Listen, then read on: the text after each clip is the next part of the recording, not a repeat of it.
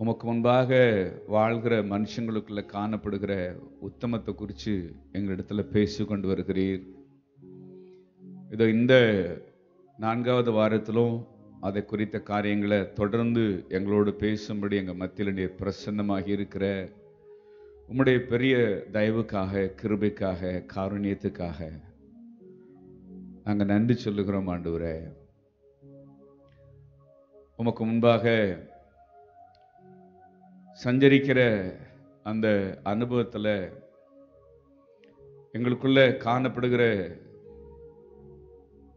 தெய்வீக அனுபவங்களை குறித்து அற்புதமான விதத்தில் எங்களுக்கு கற்பித்து தருகிற இந்த கிருபைக்காக நாங்கள் நன்றி சொல்லுகிறோம். இந்த நான்காவது வாரத்திலும் எங்களோடு பேச போகிற புதிய காரியங்களுக்காக நாங்கள் உண்மை ஸ்தோத்தரிக்கிறோம் உண்மை வரவேற்கிறோம். நம்முடைய சமூகத்தில் எங்களை தாழ்த்தி அமர்கிறோம். இயேசுவின் நாமத்தில் ஜெபித்து ஜெயம் எடுக்கிறோம். நல்ல பிதாவே. ஆமென் ஆமென் ஆமென். நன்றி நன்றி ராஜா. நன்றி. சுராஜா ஐயா நன்றி நன்றி ராஜா.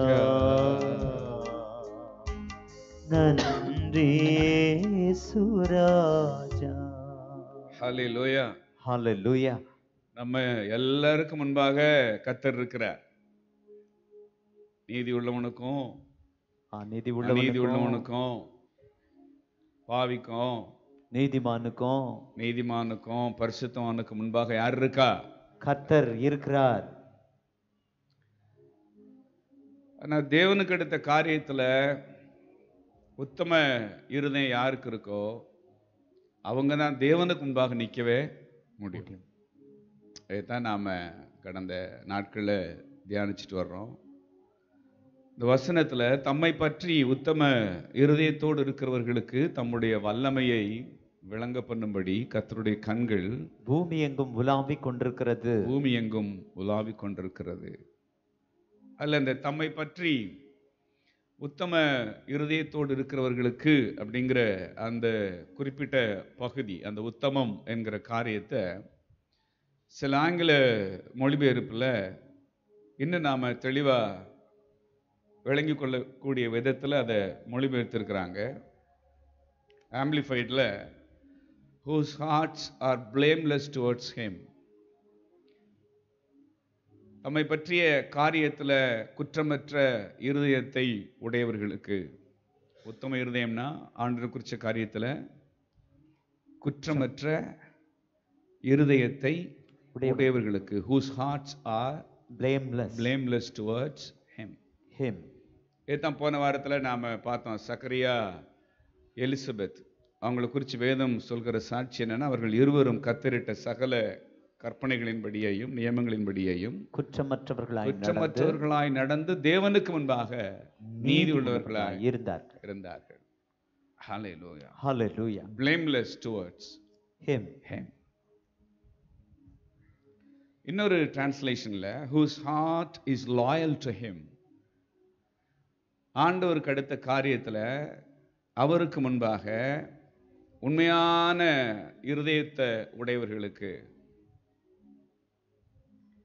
ஆண்டவருக்கு அடுத்த காரியத்துல தங்களுடைய நம்பகத்தன்மையோட அவருக்கு முன்பாக வாழ்கிறவர்களுக்கு. ஹalleluya. Hallelujah. அதான் ஆம்பிளிஃபைடில் சொல்லப்பட்டிருக்க அர்த்தம். நியூ லிவிங் டிரான்ஸ்லேஷனில் நம்ம வழக்கமாக தியானிச்சது ஹூட்ஸ் whose hearts are totally committed to him அல்லது fully Committed committed to him ஆண்டவருக்கு எடுத்த காரியத்தில் முழுவதுமாக தங்களை அர்ப்பணித்திருக்கிறவர்களுக்கு தேவனுக்கு எடுத்த விஷயத்துல தங்களை முழுமையாக ஒப்பு கொடுத்திருக்கிறவர்களுக்கு. இந்த மூன்று மொழிபெயர்ப்புகளை வச்சு இந்த வசனத்தை நம்ம வாசிச்சோன்னா தம்மை பற்றிய காரியத்தில் குற்றமற்ற இருதயத்தை உடையவர்களுக்கு தமக்கெடுத்த காரியத்தில் உண்மையுள்ள இருதயத்தை உடையவர்களுக்கு தமக்கெடுத்த காரியத்தில் தங்களை முழுவதும் அர்ப்பணித்திருக்கிறவர்களுக்கு தம்முடைய வல்லமையை விளங்க பண்ண கர்த்தருடைய கண்கள் பூமி எங்கும் உலாவிக் கொண்டிருக்கிறது. தேவனுக்கு முன்னாடி ஒரு மனுஷன் வாழ்றான்னா அவனுக்குள்ள காணப்படுகிற உத்தமம் என்னன்னா உண்மை முழு அர்ப்பணம் குற்றமற்ற. குற்றமற்ற ஒரு மனச்சாட்சி. ஆமென் ஹalleluya. ஹalleluya இது சாத்தியமா அப்படிங்கிற கேள்வி வருது அடுத்து. இப்படிலாம் வாழணும்னா நேரா பரலோகத்துல தான் போய் என்ன செய்ய முடியும்? வாழ முடியும். ரட்சிக்கப்பட்ட உடனே ஆண்டவர் நம்மளை பரலோகத்துக்கு கொண்டு போனாரா? பரலோகத்தை நமக்குள்ள கொண்டு வந்தாரா? பரலோகத்தை நமக்குள்ள கொண்டு வந்தார். பரலோகத்துக்கு நான் போனா என்ன நடக்குமோ அதே தான் பரலோகம் எனக்குள்ள வந்தாலும் நடக்குது. ஆமென் ரெண்டும் ஈக்குவல் தான்.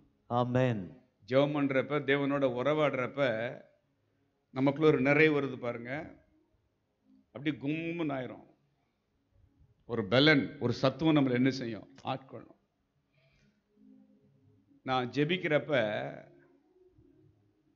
எனக்குள்ள வர்ற தேவ பிரசன்னம் அது வேற ஒண்ணும் இல்லை. அதுதான் தேவனுடைய ராஜ்யம். ஆமென். ஆண்டவர் கற்றுக் கொடுத்த பரமண்டலங்கள் இருக்கிற எங்கள் பிதாவேங்கிற ஜெபத்துல முதல் வார்த்தை என்ன?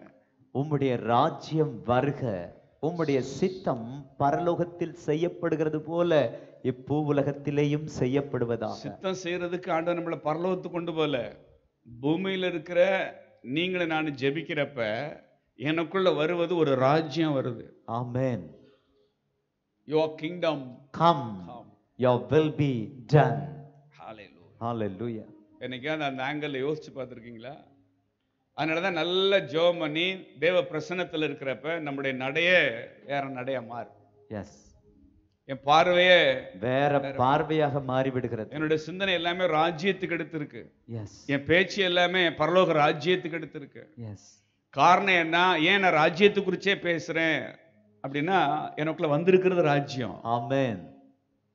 Hallelujah. என்னை பலப்படுத்த எனக்குள்ள தேவன் ஏதோ ஒரு பலனை கொடுக்கல அவருடைய ராஜ்யத்தையே தருகிறார். சோ ஜெபிக்கிற மனுஷனுக்குள்ள இருக்கிறது தேவனுடைய ராஜ்யம். ராஜ்யம். அப்ப இப்படிலாம் குற்றமற்றவனா? இப்படிலாம் உண்மை உள்ளவனா? இப்படிலாம் அர்ப்பணம் உள்ளவனா வாழணும்னா பரலோகத்துக்கு போனா தான் வாழ முடியும்னு ஒரு மனுஷனும் சொல்ல முடியாது. முடியாது சொல்லவும் கூடாது. கூடாது. ஏன்னா இந்த வாழ்க்கை வாழ தேவையான பலனை தேவன் எனக்கு என்ன செய்கிறார்? தருகிறார். அருளி செய்கிறார். எப்பொழுது அருளி செய்கிறார்? நான் ஜெபிக்கிற பொழுது அவருடைய ராஜ்யத்தை எனக்குள்ள அனுப்பி.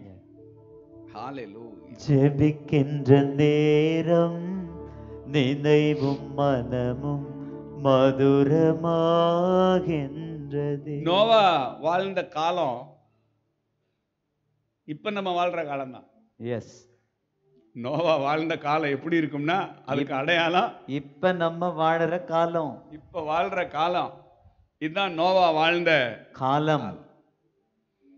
அது எம் ஆறாவது அதிகாரம் பதினோராவது வசனத்துல வாசிக்கிறோம். அந்த காலத்தை குறிச்சு வேதம் என்ன சொல்லுதுன்னா பூமியானது தேவனுக்கு முன்பாக சீர்கெட்டதா இருந்தது. தேவனுக்கு முன்பாக சீர்கெட்டதா இருந்தது. பூமி கொடுமையினால நிறைந்திருந்தது. ஏதோ பூமியில ஒரு பகுதியில கொடுமை இல்ல பூமி முழுசும் கொடுமை. கொடுமை.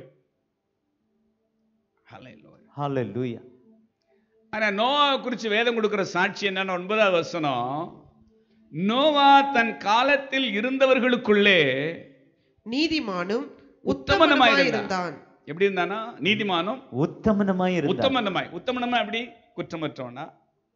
தேவனுக்கு எடுத்த காரியத்துல உண்மை உள்ளவனா? தேவனுக்கு எடுத்த காரியத்துல முழு ஈடுபாடு முழு அர்ப்பணிப்பு உள்ளவனா? ஃபுல் கமிட் கமிட்மெண்ட் ஹalleluya அப்ப திரும்பி பார்த்தா பூமி முழுசும் கொடுமை. பூமி முழுசும் சீர்கேடு. ஆனா இதன் மத்தியில ஒரு மனுஷனுக்குள்ள மட்டும் தேவனுக்கு எடுத்த காரியத்துல உத்தமம். உத்தமம். அந்த மனுஷன் பரலோகத்துல இருந்தானா பூமியில இருந்தானா? கொடுமையான பூமியில. அப்ப அந்த மனுஷனுக்கு மா அது இது எப்படி அந்த மனுஷனுக்கு சாத்தியம் வசனத்தின் அடுத்த பகுதி சொல்லுது? நோவா தேவனோட சஞ்சரித்துக் கொண்டிருந்தான். ஹalleluya அப்ப தேவனுக்கு எடுத்த காரியத்துல எப்ப நம்ம உத்தமமா வாழ முடியும்னா தேவனோட சஞ்சரிச்சா மட்டும்தான். எஸ். ஹalleluya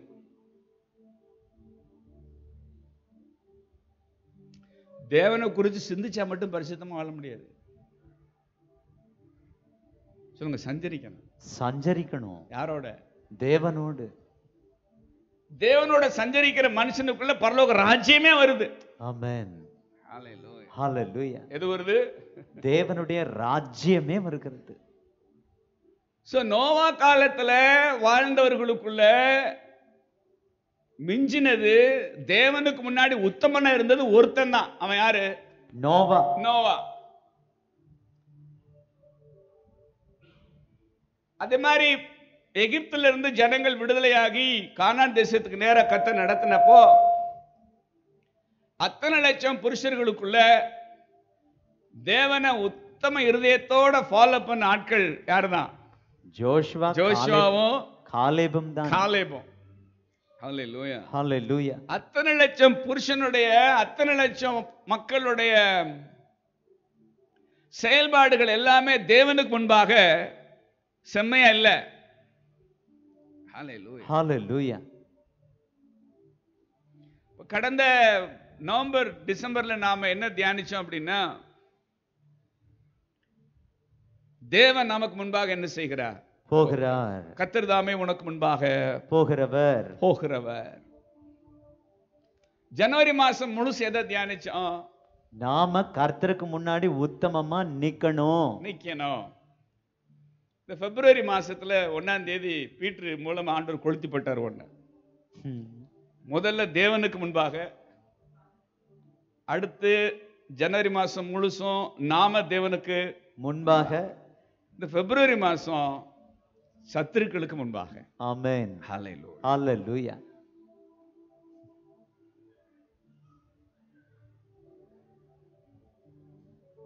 நாம தேவனுக்கு முன்பாக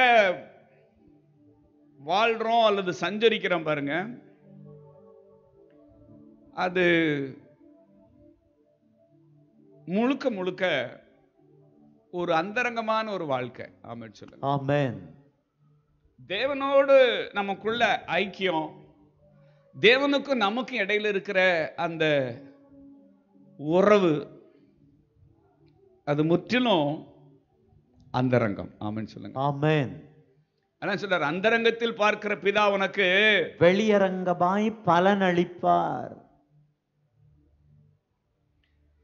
சோ உத்தமத்தை குறித்து நாம தியானிச்சப்போ அந்தரங்கத்துல தேவனோட வாழ்ற வாழ்க்கை தெய்வீகமா இருக்கிறப்ப பிசாசு என்ன செய்ய மாட்டான் நம்மள?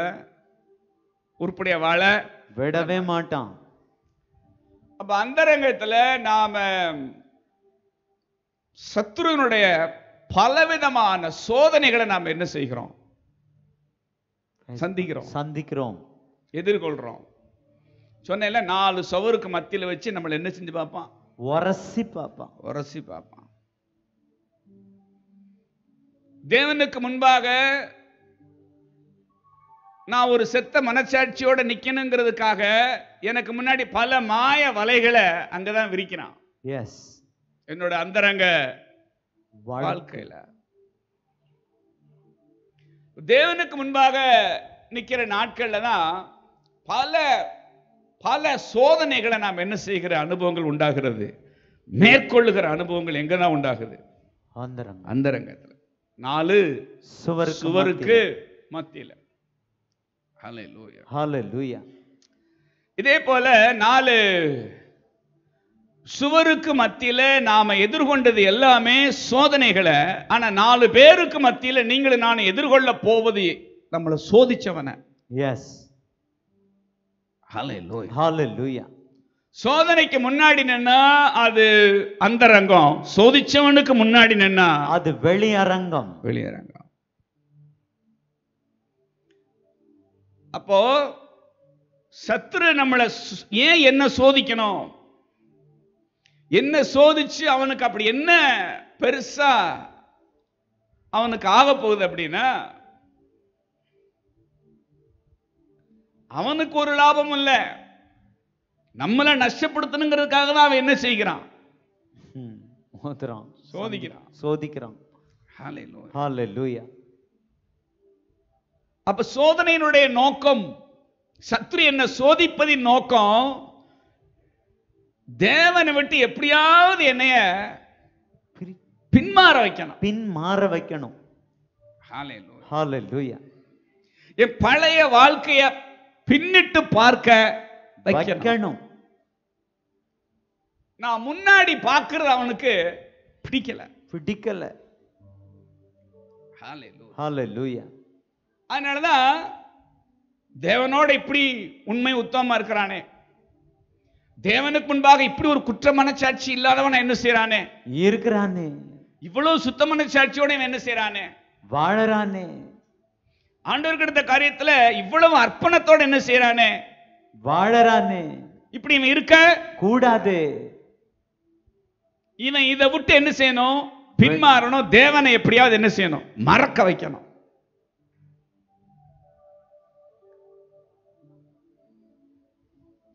யாக்கோபு நிருபத்துல ஒன்னாவது அதிகாரம் பன்னெண்டாவது வசனத்துல வாசிக்கிறோம். யாக்கோபு ஒன்னு பன்னெண்டுல சோதனையை சகிக்கிற மனுஷன் பாக்கியவான். அவன் உத்தமன் என்று விளங்கின பின்பு கர்த்தர் தம்மிடத்தில் அன்பு கூறுகிறவர்களுக்கு வாக்குத்தத்தம் பண்ணின ஜீவ கிரீடத்தை பெறுவான். ஹalleluya. இந்த சோதனையை சகிக்கிற மனுஷன் அப்படிங்கிற வார்த்தை ஆம்பிளிஃபைட்ல எப்படி இருக்குன்னா blessed is the man who is patient under trial and stands up under temptation. Who is patient under trial பாடுகள் மத்தியில அத சகிச்சு நிக்கிறவன். யோபு போல பாடுகளை சகிச்சாலும் சகிப்பன ஒழிய தேவனை மட்டும் என்ன செய்ய மாட்டேன்? தூஷிக்க மாட்டேன். அவன் தான் யாரு? தேவனுக்கு முன்பாக நிற்கிற உத்தமன். Hallelujah. Hallelujah Who stands up under? Temptation. Temptation. அது பாடு இது பாவ சோதனை இச்சை. பாவ சோதனையின் மத்தியில தேவனுக்காக நீங்களும் நானும் காண்பிக்கிற வைராக்கியம் தேவனுக்கு எடுத்த காரியத்துல நம்முடைய உத்தமத்தை என்ன செய்கிறது? அவருக்கு விளங்க பண்ணுகிறது.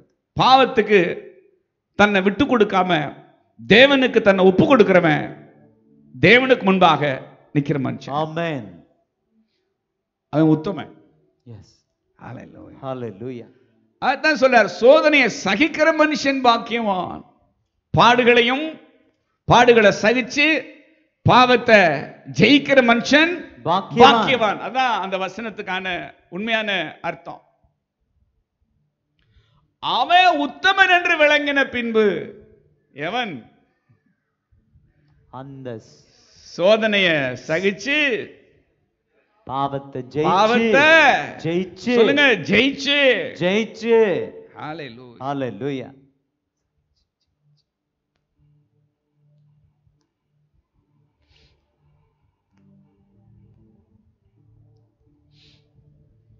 நம்முடைய சத்துருக்களுக்கு முன்பாக தேவன் நமக்கு ஒரு பந்தி என்ன பண்ணிட்டாரு? ஆயத்தப்படுத்தி முடிச்சிட்டார். சங்கீதம் இருபத்தி மூணு அஞ்சுல வாசிக்கிறோம். என் சத்துருக்களுக்கு முன்பாக நீர் எனக்கு ஒரு பந்தியை ஆயத்தப்படுத்தி என் தலையை எண்ணெயால் அபிஷேகம் பண்ணுகிறீர். என் பாத்திரம் நிரம்பி வழிகிறது. என்னோட புதிய வாழ்க்கைக்கு தேவன் எழுதியிருக்கிற முகவரை இது. ஆமென். Hallelujah. ஹalleluya என்னை எப்படியெல்லாம் அவர் ஆசீர்வதிக்க போகிறார்? என்னை எப்படியெல்லாம் அவர் என்ன செய்ய போகிறார்?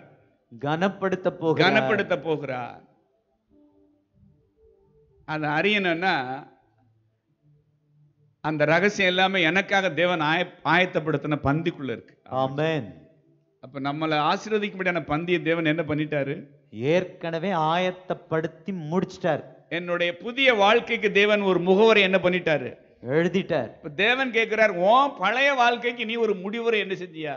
எழுதுனியாப்பா? எழுதுனியாப்பா. இதை செய்யறதுக்கு தான் என்ன இருதயம் வேணும்? உத்தம இருதயம் வேண்டும். இந்த உத்தம இருதயம் வேணும்னா தேவனோட சஞ்சரிக்கணும். இந்த உத்தம இருதயத்தோட வாழணும்னா பரலோக ராஜ்யம் எனக்குள்ள ஸ்தாபிக்கப்பட வேண்டும். உத்தம இருதயத்தோட இருக்கிற மனுஷனுக்குள்ள காணப்படுகிற விசேஷம் என்னன்னா அவன் தேவனை விட்டு பின்மாறுகிறவன் அல்ல அவன் தேவனை பின்பற்று பின்பற்றுகிறவன். பின்பற்றுகிறவன்.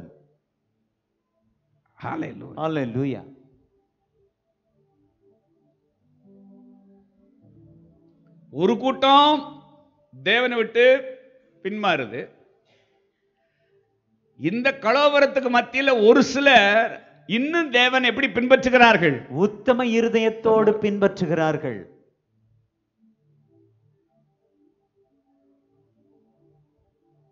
என்னாகமத்தின் புஸ்தகம் பதினான்கு ரெண்டுல வாசிக்கிறோம். என்னாகமம் பதினான்கு ரெண்டுல இஸ்ரவேல் புத்திரர் எல்லாரும் மோசேக்கும் ஆரோனுக்கும் விரோதமாக முறுமுறுத்தார்கள். சபையார் எல்லாரும் அவர்களை நோக்கி எகிப்து தேசத்திலே செத்து போனோமே ஆனால் நலமா. இருக்கும். இந்த வனாந்தரத்திலே நாங்கள் செத்தாலும் நலம். மூணாவது நாங்கள் பட்டயத்தால் மடியும்படிக்கும் எங்கள் பெண்ஜாதிகளும் பிள்ளைகளும் கொள்ளையாகும்படிக்கும் கர்த்தர் எங்களை இந்த தேசத்துக்கு கொண்டு வந்தது என்ன? எகிப்துக்கு திரும்பி போகிறதே எங்களுக்கு உத்தமம் அல்லவோ என்றார்கள். பின்பு அவர்கள் நாம் ஒரு தலைவனை ஏற்படுத்திக் கொண்டு எகிப்துக்கு திரும்பி போவோம் வாருங்கள் என்று ஒருவரோடு ஒருவர் சொல்லிக் கொண்டார்கள். இவன் பண்ண மிகப்பெரிய மிஸ்டேக் பாருங்க. எகிப்துக்கு திரும்பி போகிறதே எங்களுக்கு உத்தமம்.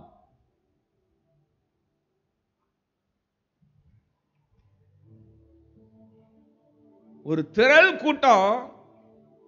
எகிப்திலிருந்து புறப்பட்டு வந்த அத்தனை லட்சம் புருஷரும் ஒரே குரல்ல உரத்த குரல்ல சொல்றான் எகிப்துக்கு திரும்பி போகிறது. எங்களுக்கு உத்தமம். அல்லவோ?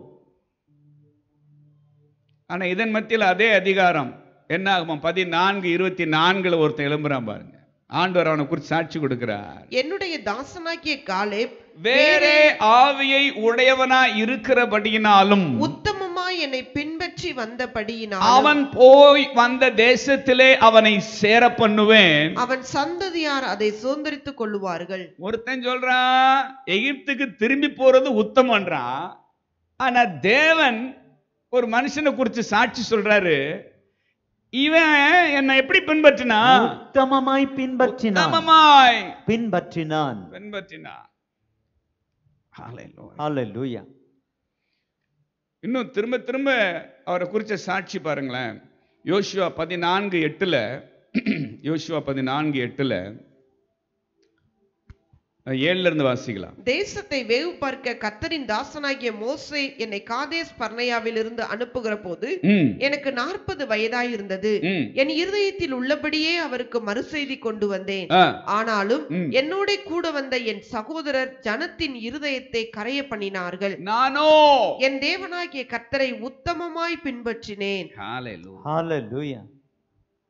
ஒன்பதாம் வசனம் வாசிக்கலாம். அந்நாளிலே மோசே நீ என் தேவனாகிய கர்த்தரை உத்தமமாய் பின்பற்றினபடியினால் உன் கால் மிதித்த தேசம் உனக்கும் உன் பிள்ளைகளுக்கும் என்றென்றைக்கும் சுதந்திரமாய் இருக்க கடவது என்று சொல்லி ஆணையிட்டார். அப்படியே ஆயிற்று. யோசுவா பதினாலு பதினாலுல பாத்தீங்கன்னா ஆதலால் கேனாசியனாகிய எப்புனையின் குமாரனாகிய காலேப் இஸ்ரவேலின் தேவனாகிய கர்த்தரை உத்தமமாய் பின்பற்றினபடியினால் இந்நாள் மட்டும் இருக்கிறபடி எப்பிரோன் அவனுக்கு சுதந்திரமாயிற்று. அவன் பூரா எகிப்துக்கு திரும்புவத உத்தமம்னு சொன்னா ஆனா தேவன் காலேப்பை குறிச்சு மறுபடியும் மறுபடியும் மோசே மூலமா ஜாஷா மூலமா காலேப் மூலமா சொல்லுகிற வார்த்தை என்னன்னா அந்த மனுஷன் கர்த்தரை உத்தமமாய்.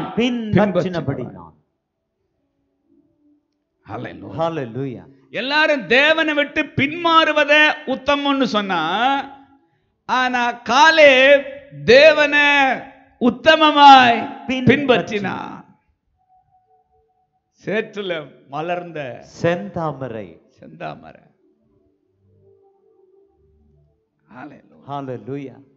இருதயம் திருக்குள்ளதா மாறிடுச்சுன்னா நம்ம வாயிலிருந்து வர்ற வார்த்தை எல்லாமே தேவனுக்கு விரோதமா இருக்கும். எஸ் ஜீவனை தூசிச்சு தேவனை தூஷிச்சு தூஷிச்சு ஜீவனை விடையா இருதயம் எப்படி ஆயிப்போச்சு? திருக்குள்ளதாக. திருக்குள்ளதாயிடுச்சு.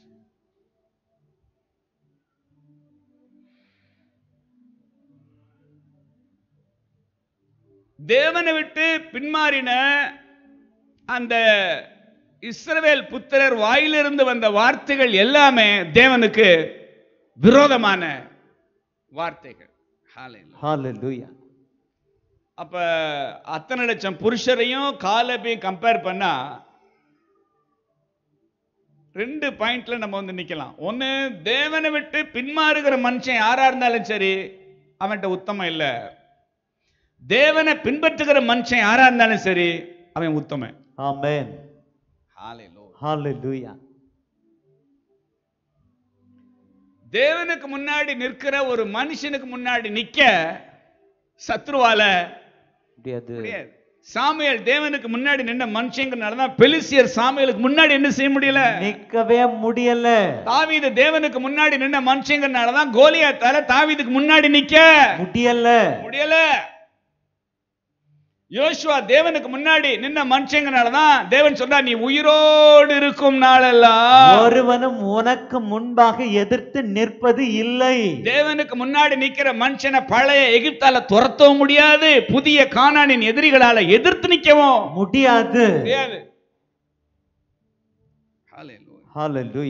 தேவன் ஒரு பக்கம் எனக்கான பந்தியை ஆயத்தப்படுத்துகிறார் இன்னொரு பக்கம் அந்த பந்திக்காக அவர் என்னை ஆயத்தப்படுத்துகிறார் ஆயத்தப்படுத்துகிறார் எனக்கான பந்தியை ஆயத்தப்படுத்துகிறவரும் அவரே அந்த பந்திக்காக என்னை ஆயத்தப்படுத்துகிறவரும் அவரே அவரே.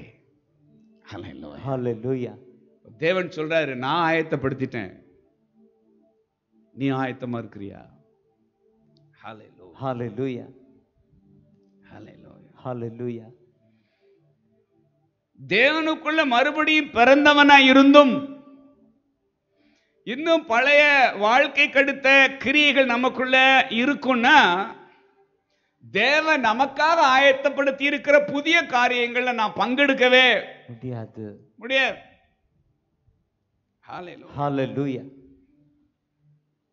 எகிப்தை விட்டு வெளியே வந்தேங்கிற திருப்தியோடயே போயிட வேண்டியதான் அதுக்கு மேல பெருசா வாழ்க்கையில எதையும் என்ன செய்ய முடியாது பார்க்க. முடியவே முடியாது. ரூத்து தன்னுடைய பழைய மோவாப் வாழ்க்கைக்கு ஒரு முடிவுரை எழுதினா. மோவாபோடு இருந்த தொடர்பை வெட்டி போட்டா துண் துண்டித்து போட்டா அறுத்து போட்டா. உடைத்து போட்டாள். உடைத்து போட்டால் உடைத்து அறுத்து துண்டித்து வெட்டி ஒட்டுல வெட்டி உறவு இல்லைங்கிற அளவுக்கு வெட்டினா எஸ் Hallelujah. அவ ஆண்டவருக்காக ஒரு முடிவுரை எழுதினப்ப ஆண்டவர் அவளுக்காக பெத்தலகேம்ல ஒரு முகவரி எழுதியிருந்தார் Amen. அந்த முகவுரையில தலையங்கமே போவாஸ் தான் Yes. Hallelujah. ரூத்து பழைய காரியத்துக்கு ஒரு முற்றுப்புள்ளி வச்சா தேவன் அவளுக்கு செஞ்ச ஒவ்வொரு புதிய காரியமும் அவளாலேயே நம்ப முடியாத அளவுக்கு ஆச்சரியமா இருந்துச்சு Amen. அதான் இந்த ஒன்னாம் தேதி வாக்குத்தத்த ஆராதனையில பீட்டர் மூலமா ஆண்டவர் பேசினார் சங்கீதம் முப்பத்தி ஒன்னு பத்தொன்பதுல உமக்கு பயந்தவர்களுக்கும் மனு புத்திரருக்கு முன்பாக உம்மை நம்புகிறவர்களுக்கும் நீர் உண்டு பண்ணி வைத்திருக்கிற உம்முடைய நன்மை எவ்வளவு பெரிதா இருக்கிறது? அந்த எவ்வளவு பெரிதா இருக்கிறது அப்படிங்கிற வார்த்தை பக்கத்துல ஒரு ஆச்சரியக்குரிய போட்டு வச்சிருக்கிறார். தேவன் நமக்கு செய்கிற நன்மை எல்லாமே நம்மளை என்ன செய்யும்? ஆச்சரியப்படுத்தும். எனக்கா இப்படி ஒரு நன்மை. போவாஸோட வயல்ல நின்னு போவாஸ் கண்கள்ல தயவு கிடைச்சதே அவளுக்கு ஆச்சரியம். போவாஸ் கிடைச்சது. அதை விட ஆச்சரியம். போவாஸ் கண்கள்ல கிடைச்ச தயவையே அவளால என்ன செய்ய முடியல? நம்ப முடியல. தாங்க முடியல நம்ப முடியல. எனக்கா இப்படி ஒரு இறக்கம் எம்மேலையா இப்படி ஒரு கரிசனை. கடைசியில ஆண்டவர் ஆச்சரியப்படுத்தினாரு போவாசையே கொடுத்து என்ன செய்கிறார்? ஆச்சரியப்படுத்துது ஆச்சரியப்படுத்துகிறார். நீர் உண்டு பண்ணுகிற. பண்ணி இருக்கிற நன்மை எவ்வளவு பெரிதா எவ்வளவு? பெரிதா இருக்கிறது. தேவன் இது போன்ற ஒரு முகவுரைய எனக்கு எழுதுனா என் பழைய வாழ்க்கை கெடுத்த காரியத்துல இந்த மாதிரியான ஒரு முடிவுரைய நானே என்ன செய்யணும்? எழுதணும். எழுதணும். Hallelujah. ஹalleluya எதை விட்டு தேவன் நம்மை வெளியே கொண்டு வந்தாரோ அது இன்னும் நம்மளை விட்டு வெளியேறலைன்னா என் பழைய வாழ்க்கைக்கு நான் இன்னும் முடிவுரை என்ன செய்யல? எழுதல.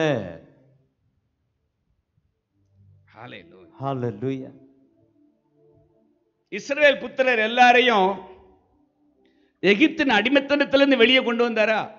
கொண்டு வந்தார். கொண்டு வந்தார். அவங்க எல்லாரும் எதை விட்டு வெளியே வந்தாங்க? எகிப்து விட்டு. வெளியே வரல தேவன் வெளியே கொண்டு வந்தார். வந்தார். ஆனா அவங்கள விட்டு எகிப்து என்ன செய்யல? வெளியே போகவே இல்லை. சாகுற வர. சாகிற வரைக்கும். ஆளு மட்டும்தான் வனாந்தரத்துல இருந்தான். எல்லாருடைய நினைவு முழுசு எங்கதான் இருந்துச்சு? எகிப்து எகிப்து எகிப்து. ஐயோ கொமட்டிக்காய் வெள்ளரிக்காய் வெங்காயம் வெள்ளைப்பூண்டு. தேவன் அவர்களுக்கு செய்ய நினைச்ச ஆசீர்வாதம் திராட்சை ரசம் புது திராட்சை ரசம். ஆனா துருத்தி ஊரம் எப்படி இருந்துச்சு? பழசா? பழசு. அவ்வளவு துருத்தியும். பீறி போ கிழிஞ்சு போ அவர் உன்னை பேசினா எவனும் தாங்க மாட்டேங்கிறான். எதை பேசினாலும் துருத்தி என்ன செய்யுது? கிழியுது. கிழியுது. ஹalleluya. தேவனுடைய அவர்களுக்கான தேவ திட்டம் புதுசா இருந்துச்சு. ஆனா அவங்க மனசு இன்னும் பழசாவே இருந்துச்சு. எஸ் பழைய வாழ்க்கைக்கு எடுத்த மனோபாவங்கள். இன்னைக்கும் மறுபடியும் பிறந்த அநேக ஆட்கள் மனசளவில் எப்படிதான் இருக்கிறாங்க? பழசா. பழசா தான் இருக்கிறாங்க. அந்த பழைய புத்தி இன்னும் என்ன செய்ய மாட்டேங்குது? மாறல.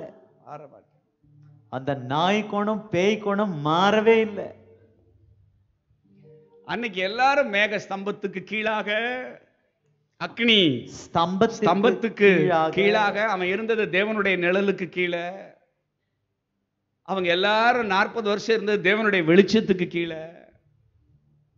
அதே மாதிரி இந்த நாட்கள் நீங்களும் நானும் தேவனுடைய பிரசன்னத்துக்கு கீழே. கீழே. Hallelujah.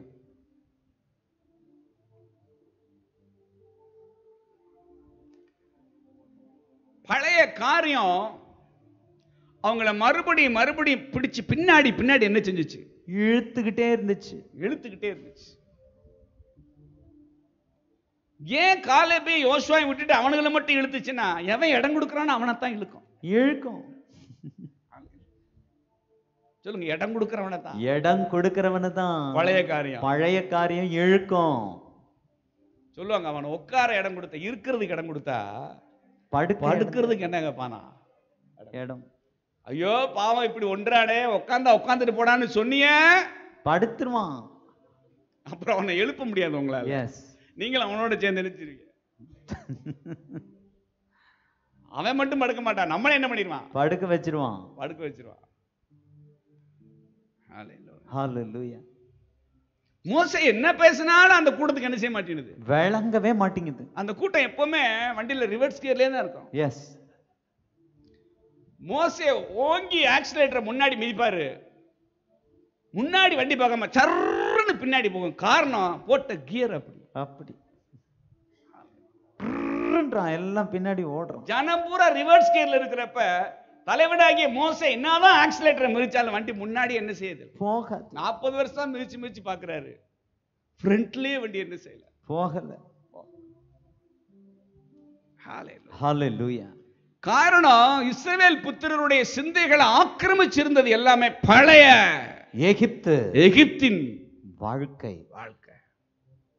அற்புதத்தை கண்ட உடனே ஆண்டவரேன்னுவான் தண்ணி கசப்பாயிருச்சுன்னா எகிப்துன்னு சொல்லுவான். எஸ் மதுரம் ஆயிருச்சுன்னா ஆண்டவரே. சாப்பிட ஒண்ணு இல்லைன்னா எகிப்துன்னுவான். மன்னா பார்த்தான்னா ஆண்டவரே. ஆண்டவரேன்னுவான் எப்ப எப்படி இருப்பான்னு அவனுக்கு என்ன தெரியாது. தெரியாது. அப்போ ஒரு பின்மாற்றத்தின் ஆவிய அல்லது பின்மாற்றத்துக்கு அடுத்த ஒரு கிரியைகளை எனக்குள்ள வச்சுக்கிட்டே தேவனை உத்தமமா பின்பற்ற என்னால முடியாது. முடியாது. யாத்திராம பதினாலு பதினொன்னுல பாருங்க. பின்மாற்றத்தின் ஆவி எப்படி சொல்லுது பாருங்க. வெளியில வந்தோடனே பேக் ஸ்லைட் அடிக்கிறான். பார்வோன் விரட்டிட்டு வந்தோன்னு சொல்றான் பாருங்க. அன்றிமர்கள் மோசையை நோக்கி எகிப்திலே பிரேத குழிகள் இல்லை என்றா வனாந்தரத்திலே சாகும்படிக்கு எங்களை கொண்டு வந்தீர். நீர் எங்களை எகிப்திலிருந்து புறப்பட பண்ணினதினா? எங்களுக்கு இப்படி செய்தது என்ன? நாங்கள் எகிப்தில இருக்கும்போது நாங்கள் எகிப்தியருக்கு வேலை செய்ய எங்களை சும்மா விட்டுவிடும் என்று சொன்னோம் அல்லவா? நாங்கள் வனாந்தரத்திலே சாகிறதை பார்க்கிலும் எகிப்தியருக்கு வேலை செய்கிறது எங்களுக்கு நலமா இருக்குமே என்றார் வாயை திறந்தாலே நாவுல வர்றது எல்லாமே சாவு. சாவு.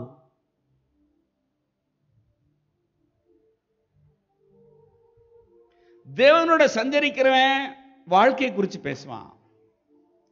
தேவனோட சஞ்சரிக்காதவன் சாவை குறிச்சு பேசுவோம் செத்தா தேவல. மண்ணெண்ணெய் ஊத்திக்கு சாவுறேன். நான் அடிபட்டு சாகுறேன். நான் உசுரோட இருந்து யாருக்கு என்ன? பிரயோஜனம். நான் பிறந்ததுக்கு பேசாம பிறக்காமல் என்ன செஞ்சிருக்கலாம்? இருந்திருக்கலாம். இந்த டைலாக்லாம் விட்டீங்களா அந்த வாரத்துல?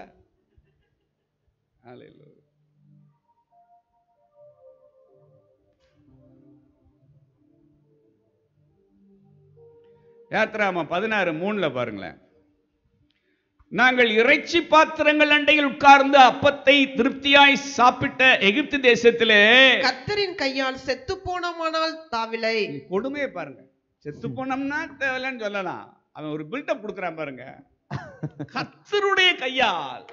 செத்து போனோமானா அப்படின்னா எகிப்துல இருந்து வந்து ஏன் அத்தனை படைய பார்வனுடைய படைய ரதங்களை சமுத்திரத்துல அப்பதான் கொண்டு முடிச்சிருக்கிறாரு? எல்லாத்தையும் கண்கூட பார்த்தவன் சொல்றான். ஆண்டவர் கையால. செத்து போனா தேவையில்லப்பா. இந்த கூட்டம் முழுவதையும் பட்டினியினால் கொல்லும்படி. நீங்கள் எங்களை புறப்பட பண்ணி இந்த வனாந்திரத்திலே அழைத்து வந்தீர்களே என்று அவர்களிடத்தில் சொன்னார்கள். பூரா வாயை திறந்தாலே சாவு கொல்றாரு அடிக்கிறாரு. உடைக்கிறாரு பிக்கிறாரு சாவை குறிச்சே மறுபடி மறுபடியும் என்ன செஞ்சு? பேசி பேசியே செத்துட்டான். செத்து போனான் கத்தரை அடிச்சு எவனும் ஜாகல. அவனா? அவங்க மேல அவர் வச்ச இறக்கத்தினால கிருபையினால அவர்களை எகிப்திலிருந்து கத்தர் வெளியே என்ன செய்து கொண்டு வந்தார்? அழைத்து அழைச்சிட்டு வந்தார். ஆனா எகிப்திலிருந்து அவர் அவர்களை வெளியே கொண்டு வந்தோம். இன்னும் எகிப்துக்கு அடுத்த கிரியைகள் எகிப்துக்கு அடுத்த நினைவுகள் எகிப்துக்கு அடுத்த சிந்தனைகள் எகிப்துக்கு அடுத்த பழக்க வழக்கங்கள் அவங்கள விட்டு என்ன செய்யல வெளியில? போகவே இல்லை. போகவே இல்லை.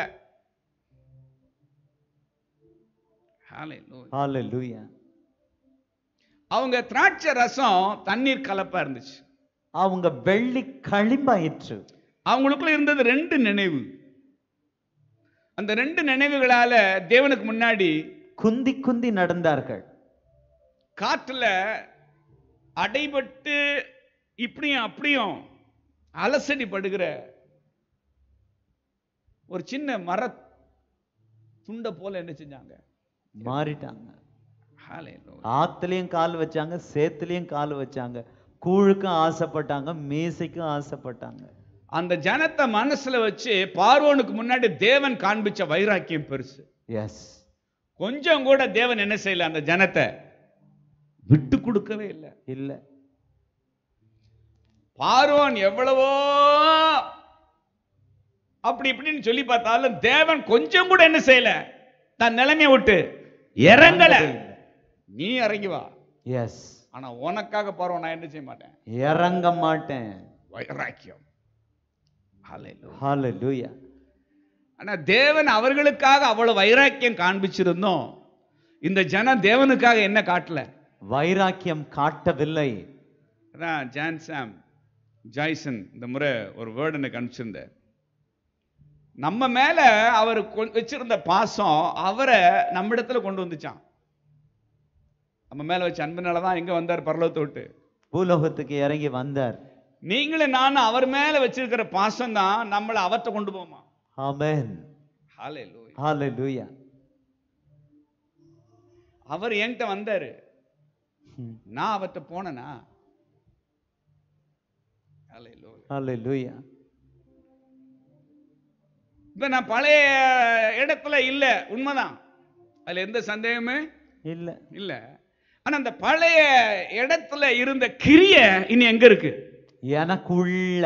அப்படின்னா நான் இன்னும் பழந்துருத்தி. எஸ் என்ன துருத்தி? பழந்துருத்தி. நான் கோடி துண்டு இல்ல நான் இன்னும் பழைய வஸ்திரம். வஸ்திரம். ஹalleluya சோ எதை விட்டு வெளியேற தேவன் உங்களுக்கு எனக்கும் கிருபை செய்தாரோ? அது இன்னும் நம்மளை விட்டு வெளியேறாம இருக்குன்னா பெரிய தவறு Hallelujah. ஹalleluya எனக்குள்ள செத்த கிரியைகள் இருக்குன்னு அர்த்தம். இந்த செத்த கிரியைகளை எனக்குள்ள வச்சுக்கிட்டு தேவனுக்கு முன்னாடி சுத்தமா வாழ முடியாது. வாழ முடியாது.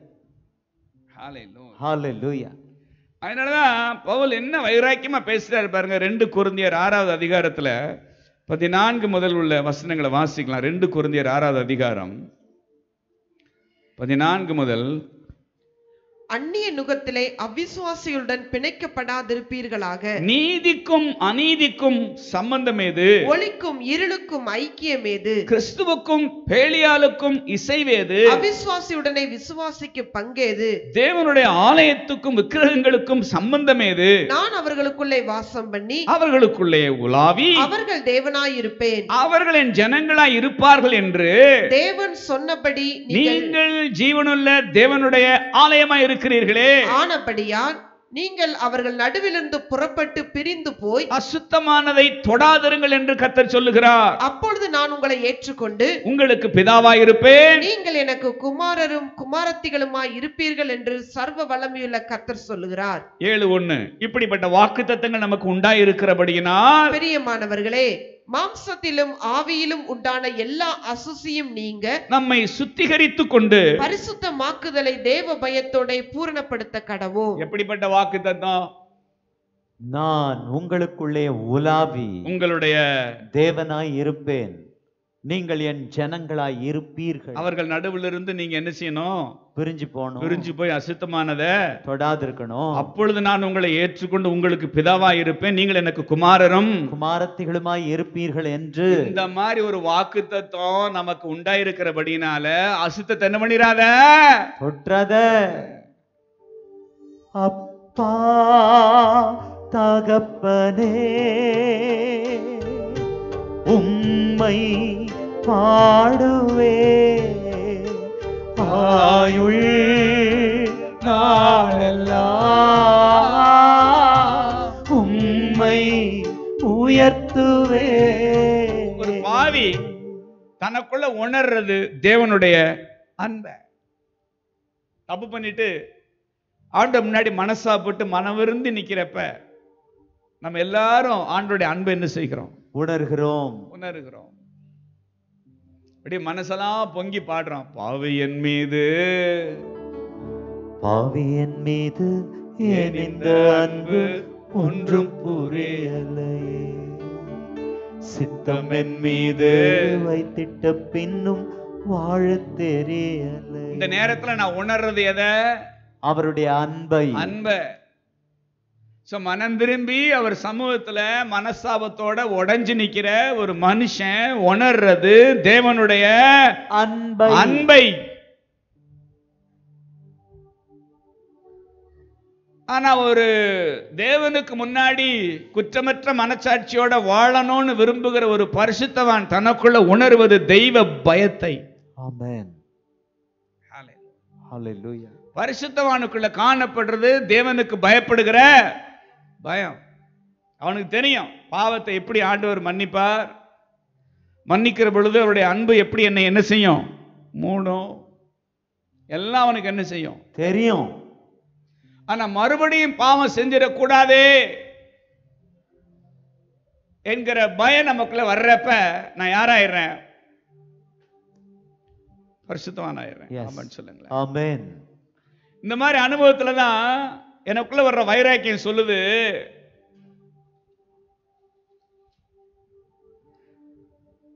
நீதிக்கும் அநீதிக்கும் சம்பந்தம் ஒளிக்கும் இருளுக்கும் ஐக்கியம் கிறிஸ்துவுக்கும் பேலியாளுக்கும் அவிசுவாசியுடனே விசுவாசிக்கு பங்கேது தேவனுடைய ஆலயத்துக்கும் விக்கிரகங்களுக்கும். சம்பந்தம் ஏது? ஹalleluya. ஹalleluya. பூரா பாருங்க ஐக்கியம் ஏது? இசைவு ஏது? பங்கு ஏது? சம்பந்தம் ஏது? சமரசத்துக்கே இடமே இல்லை. ஒட்டு இல்ல. வரவும் இல்லை.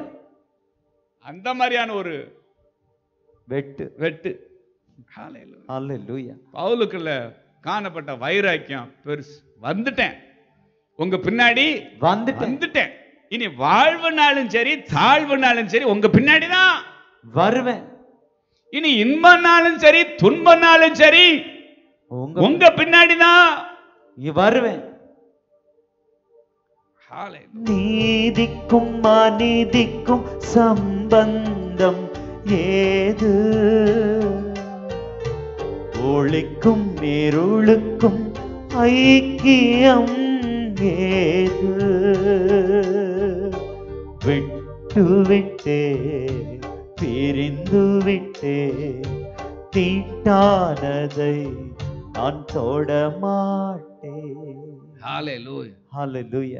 நம்ம சென்னையில ஒரு ஐயா இருக்கிறார். சுவிசேஷன் சொல்லுவார். இயேசுதாஸ் ஐயா. அக்கினி ஏசுதாஸ். அக்கினி இயேசுதாஸ் அவர் பேர் என்னது? அக்கினி அக்கினி ஏசுதாஸ். குரல் வந்து மைக் இல்லாமலே பேசி பேசி குரலே கட்ட குரலா என்ன செய்யும்? ஆயிருச்சு. ஒரு நாளைக்கு ஆயிரம் பேருக்காவது சுவிசேஷம் என்ன செய்யணும்? சொல்லணும். சொல்லணும். ட்ரெயின்ல பாஸ் எடுத்துக்கிட்டு எஸ் ஃபுல்லா ஏழு நின்று இங்கிலீஷ் படிச்சவன் இருந்தா இங்கிலீஷ்ல. ஆட்களை பார்த்து இங்கிலீஷ் புரியாதுன்னா தமிழ் தமிழ்ல. எத்தனை பேர் அடிச்சாலும் அதை குறிச்சு கவலைய. இல்லை. அடிக்கு பயப்படுற ஆளே. இல்லை. இடையில ஒரு நாள் பிடிச்சி அடிச்சிட்டானுங்க. என்னையா சொன்னாரு? என்னை அடிச்சாலும் மிதிச்சாலும் கடைசி வரைக்கும் இயேசுவை பத்தி சொல்லிக்கிட்டே இருப்பேன். அவருடைய பேரு டெல்லி வரையும் போயிருச்சு. நியூ நியூ டெல்லி வரைக்கும். அங்க இருக்கிற ஆர்எஸ்எஸ் பீப்புளெலாம் சொல்றாங்க. சென்னையில் இது மாதிரி அக்னி ஏசுதாஸ்ன்னு ஒருத்தர் டீமோட கிண்டி ஸ்டேஷன்ல இருந்து அப்படியே போய்கிட்டே இருக்கிறார். அவர் மேல ஒரு கண்ணு வைங்க. அவர் இந்த மாதிரி திரள் சேனையை கூப்பிட்டு இயேசுவே தெய்வம்னு சொன்னா நாங்களும் சொல்லுவோம் எங்க தெய்வம் தான் பெரியவர்கள் அப்படின்னு. கூப்பிட்டு வச்சு ஒரு நேரம் பிடிச்சி அடிக்க அட்றா. அடி. அடி. கொல்ல போறியா? கொல்லு. அதுக்கு மேல என்ன செய்ய முடியும் அவனால? கொல்ல தானடா போறேன் அடி. அட்றா. வெட்ட தானே போகிறேன் இந்த ஒரு ஐயா அந்த ஐயா அப்படியே நடந்து போய்கிட்டு அதாவது பஸ் அப்படியே மூவ் ஆகுது. மூவ் ஆன உடனே ஓடி போய் ஐயா ஏசு உங்களை நேசிக்கிறாரு ஐயா அப்படின்னு சொன்ன உடனே ஒருத்தன் இறங்கி வந்து அடி ஏ என்னையா வயசான ஆளாக இருக்கிற? ஏசுக்கு சென்ற. அடிச்சனா பாரு. ஏ அடிச்சன் பாருன்னு சொல்லாத. அட்ரா அடி. அப்படின்னு உடனே அப்படியே அவர் பார்த்துட்டு அப்படியே போயிட்டாரு. அடிக்கணும்னா நல்லா அடி கொல்லணும்னா நல்லா கொண்டு சாகர வரைக்கும் இயேசுவை சொல்லிக்கிட்டே செத்துருவேன் அப்படின்ற நம்மலாம் அடிக்கிறதுக்கு வரல அடி வாங்குறதுக்கு வந்திருக்கிறோம். ஆமென் ஆமென் சொல்லு ஆமென் பவுல் சொல்றாரு பாருங்க பல அடியை வாங்கிட்டு ரோமருக்கு எழுதின நிருபம் எட்டாவது அதிகாரத்துல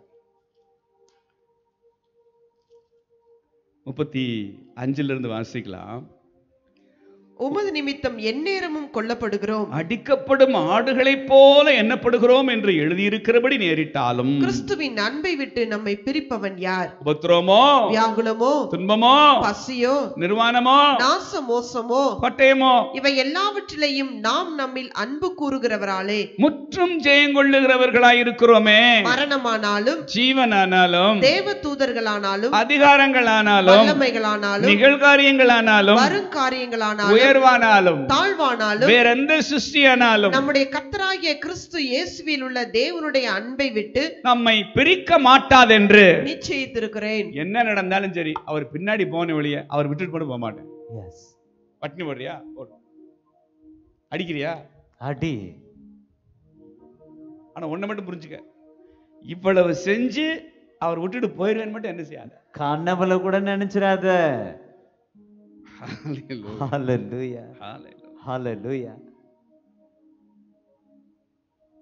இந்த ஜனத்துக்கு தேவன் எவ்வளவு அற்புதம் செஞ்சு தண்ணி லேசா கசப்பாச்சுன்ன உடனே முறுமுறுத்தான் யாருக்கு விரோதமா?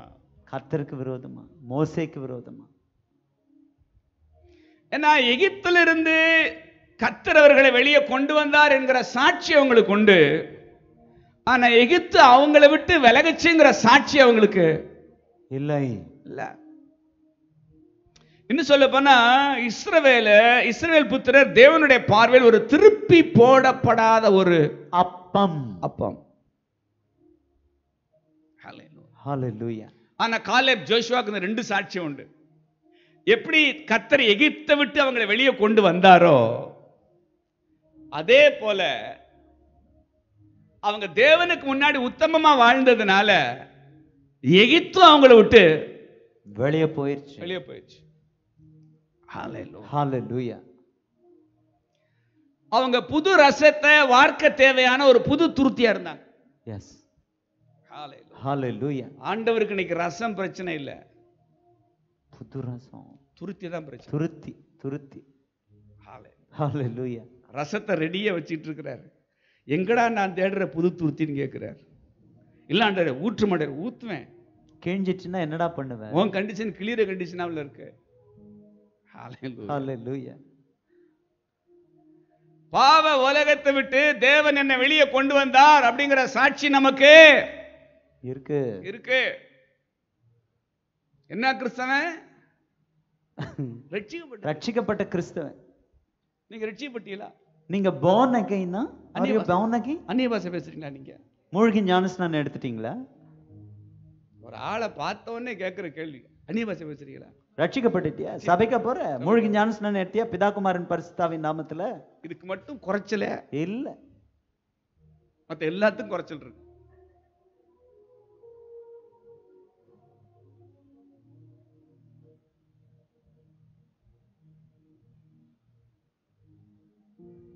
ஆலயத்துக்கு வந்தா தோத்திரம். வெளிய போனா ஆத்திரம். அப்படி என்ன அர்த்தம்?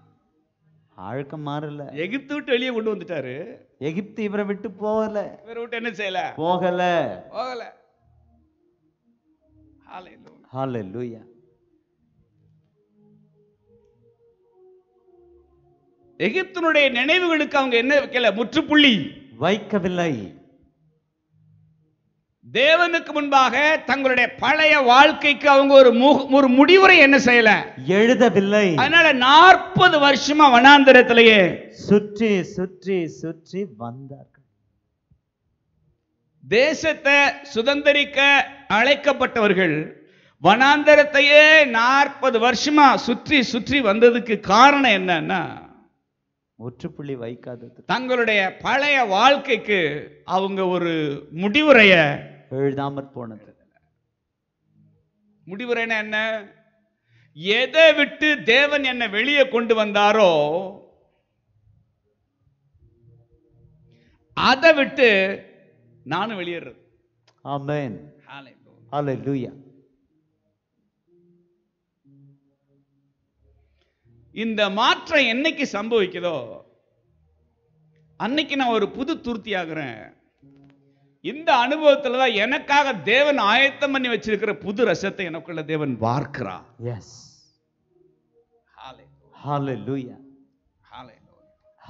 அது ஒரு கில்கால அனுபவம். ஆமென் ஆமென். என்ன அனுபவம்? கில்கால்.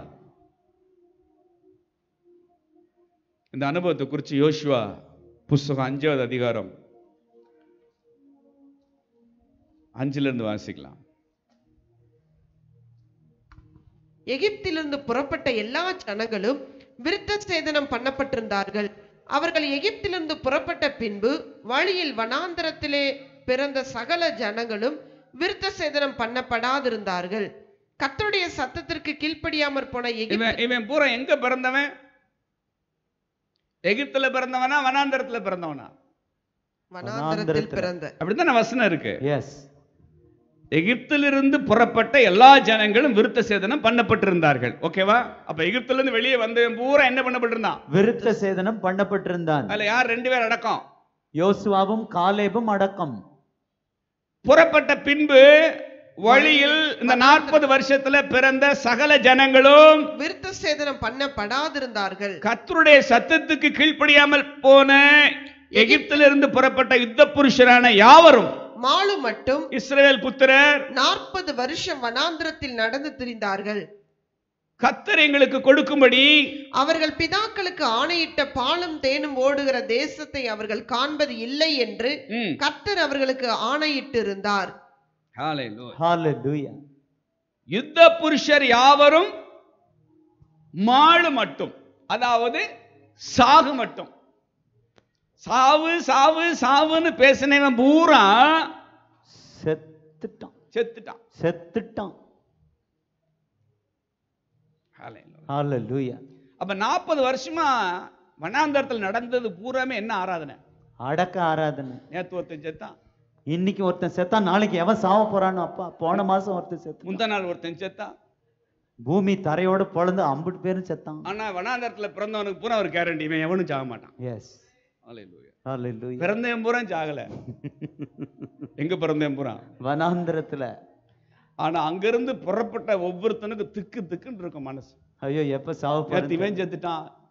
நாளைக்கு இவன் சாக போறான் என்ன செய்யல? தெரியலையே. நாற்பது வருஷமா ஒவ்வொரு வீட்லயும் இளவு எஸ் நாற்பது வருஷமா நடந்தது பூராம என்ன ஆராதனை? அடக்க ஆராதனை. நீ அத்தானே சொன்ன? நீ கேட்டது என்னத்தான் கேட்ட? சாவதானே கேட்ட. இப்படியே ஒவ்வொரு பிதாக்கள் ஒவ்வொருத்தர் என்ன செஞ்சாங்க? ஒவ்வொருத்தரா? செத்துக்கிட்டே இருந்தாங்க. நல்ல கவனிங்க சாவு சாவு சாவுன்னு ஓலமிட்ட எல்லாரையும் சாவு என்ன பண்ணுச்சு? விழுங்குச்சு. அவங்க எதை விரும்பினாங்களோ அது அவர்களை விழுங்கி விழுங்கிற்று. எந்த தீய காரியத்தை நீங்களும் நானும் விரும்புறோமோ அது நம்மளை விழுங்காம விட்டாது ஹalleluya. பாவத்தை விழுங்குனா பாவம் அவனை விழுங்கியே தீரும். எஸ் ஹalleluya அதனாலதான் பாவத்தை விழுங்கின உடனே ஆண்டவர் நமக்கு ஸ்டமக் வாஷ் கொடுக்குறாரு. எஸ் புரியுதா உங்களுக்கு? ஆமென் விஷத்தை குடிச்சவனுக்கு என்ன கொடுப்பாங்க? ஸ்டொமக் வாஷ் தப்பு பண்ணிட்டியாடா? அது உள்ள இருக்கிற வரைக்கும் அது உன்னை என்ன செய்யாதுடா. விட்டாதுரா அப்படி வந்து ஒரு கிருபையின் சத்தியத்தை கொடுத்து ஃபுல்லா எல்லாத்தையும் என்ன வைக்க வச்சிட அக்குன்னு வாமிட் பண்ண வச்சு. போப்பா நல்லா இருப்பான்னு நினைச்சு விட்டு எஸ் ஏறு. ஹalleluya அந்த ஸ்டமக் வாஷ் மட்டும் கொடுக்கலன்னு வைங்களேன். நமக்கு என்ன ஆராதனை தான் அடக்க ஆராதனை தான் இந்த நிலைமையில தான் கில்காலு கொண்டு வந்து கத்தர் செய்றார் பாருங்க.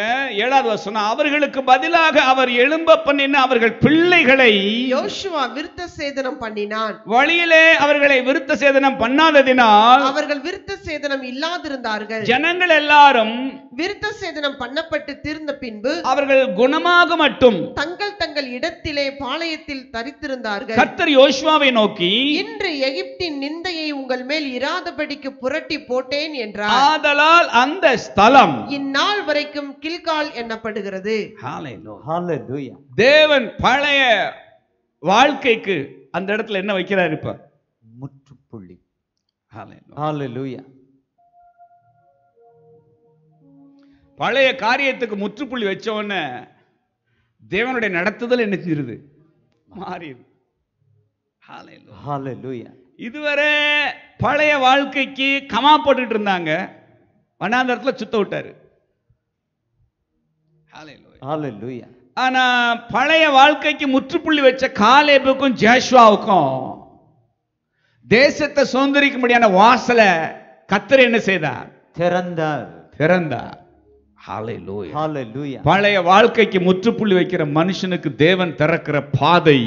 புதிய பாதை. புதிய பாதை. அவனுக்கு அவர் திறக்கிற வழி. புதிய வழி. அவன் புதுசுங்கிறதுனால அவன் சுதந்திரிக்கிற ஆசீர்வாதமும் புதுசு. புதுசு. அவன் புது துருத்திங்கிறதுனால அவனுக்குள்ள தேவன் வார்க்கிறதும் புது ரசத்தை. புது ரசத்தை. என்னைக்கு வரை கமா போட்டுக்கிட்டு இருக்கிற வரைக்கும் நான் பழந்துருத்தி. என்னைக்கு பழைய வாழ்க்கைக்கு முற்றுப்புள்ளி வைக்கிறனோ அந்த நொடியிலேயே நான் புது புது துருத்தி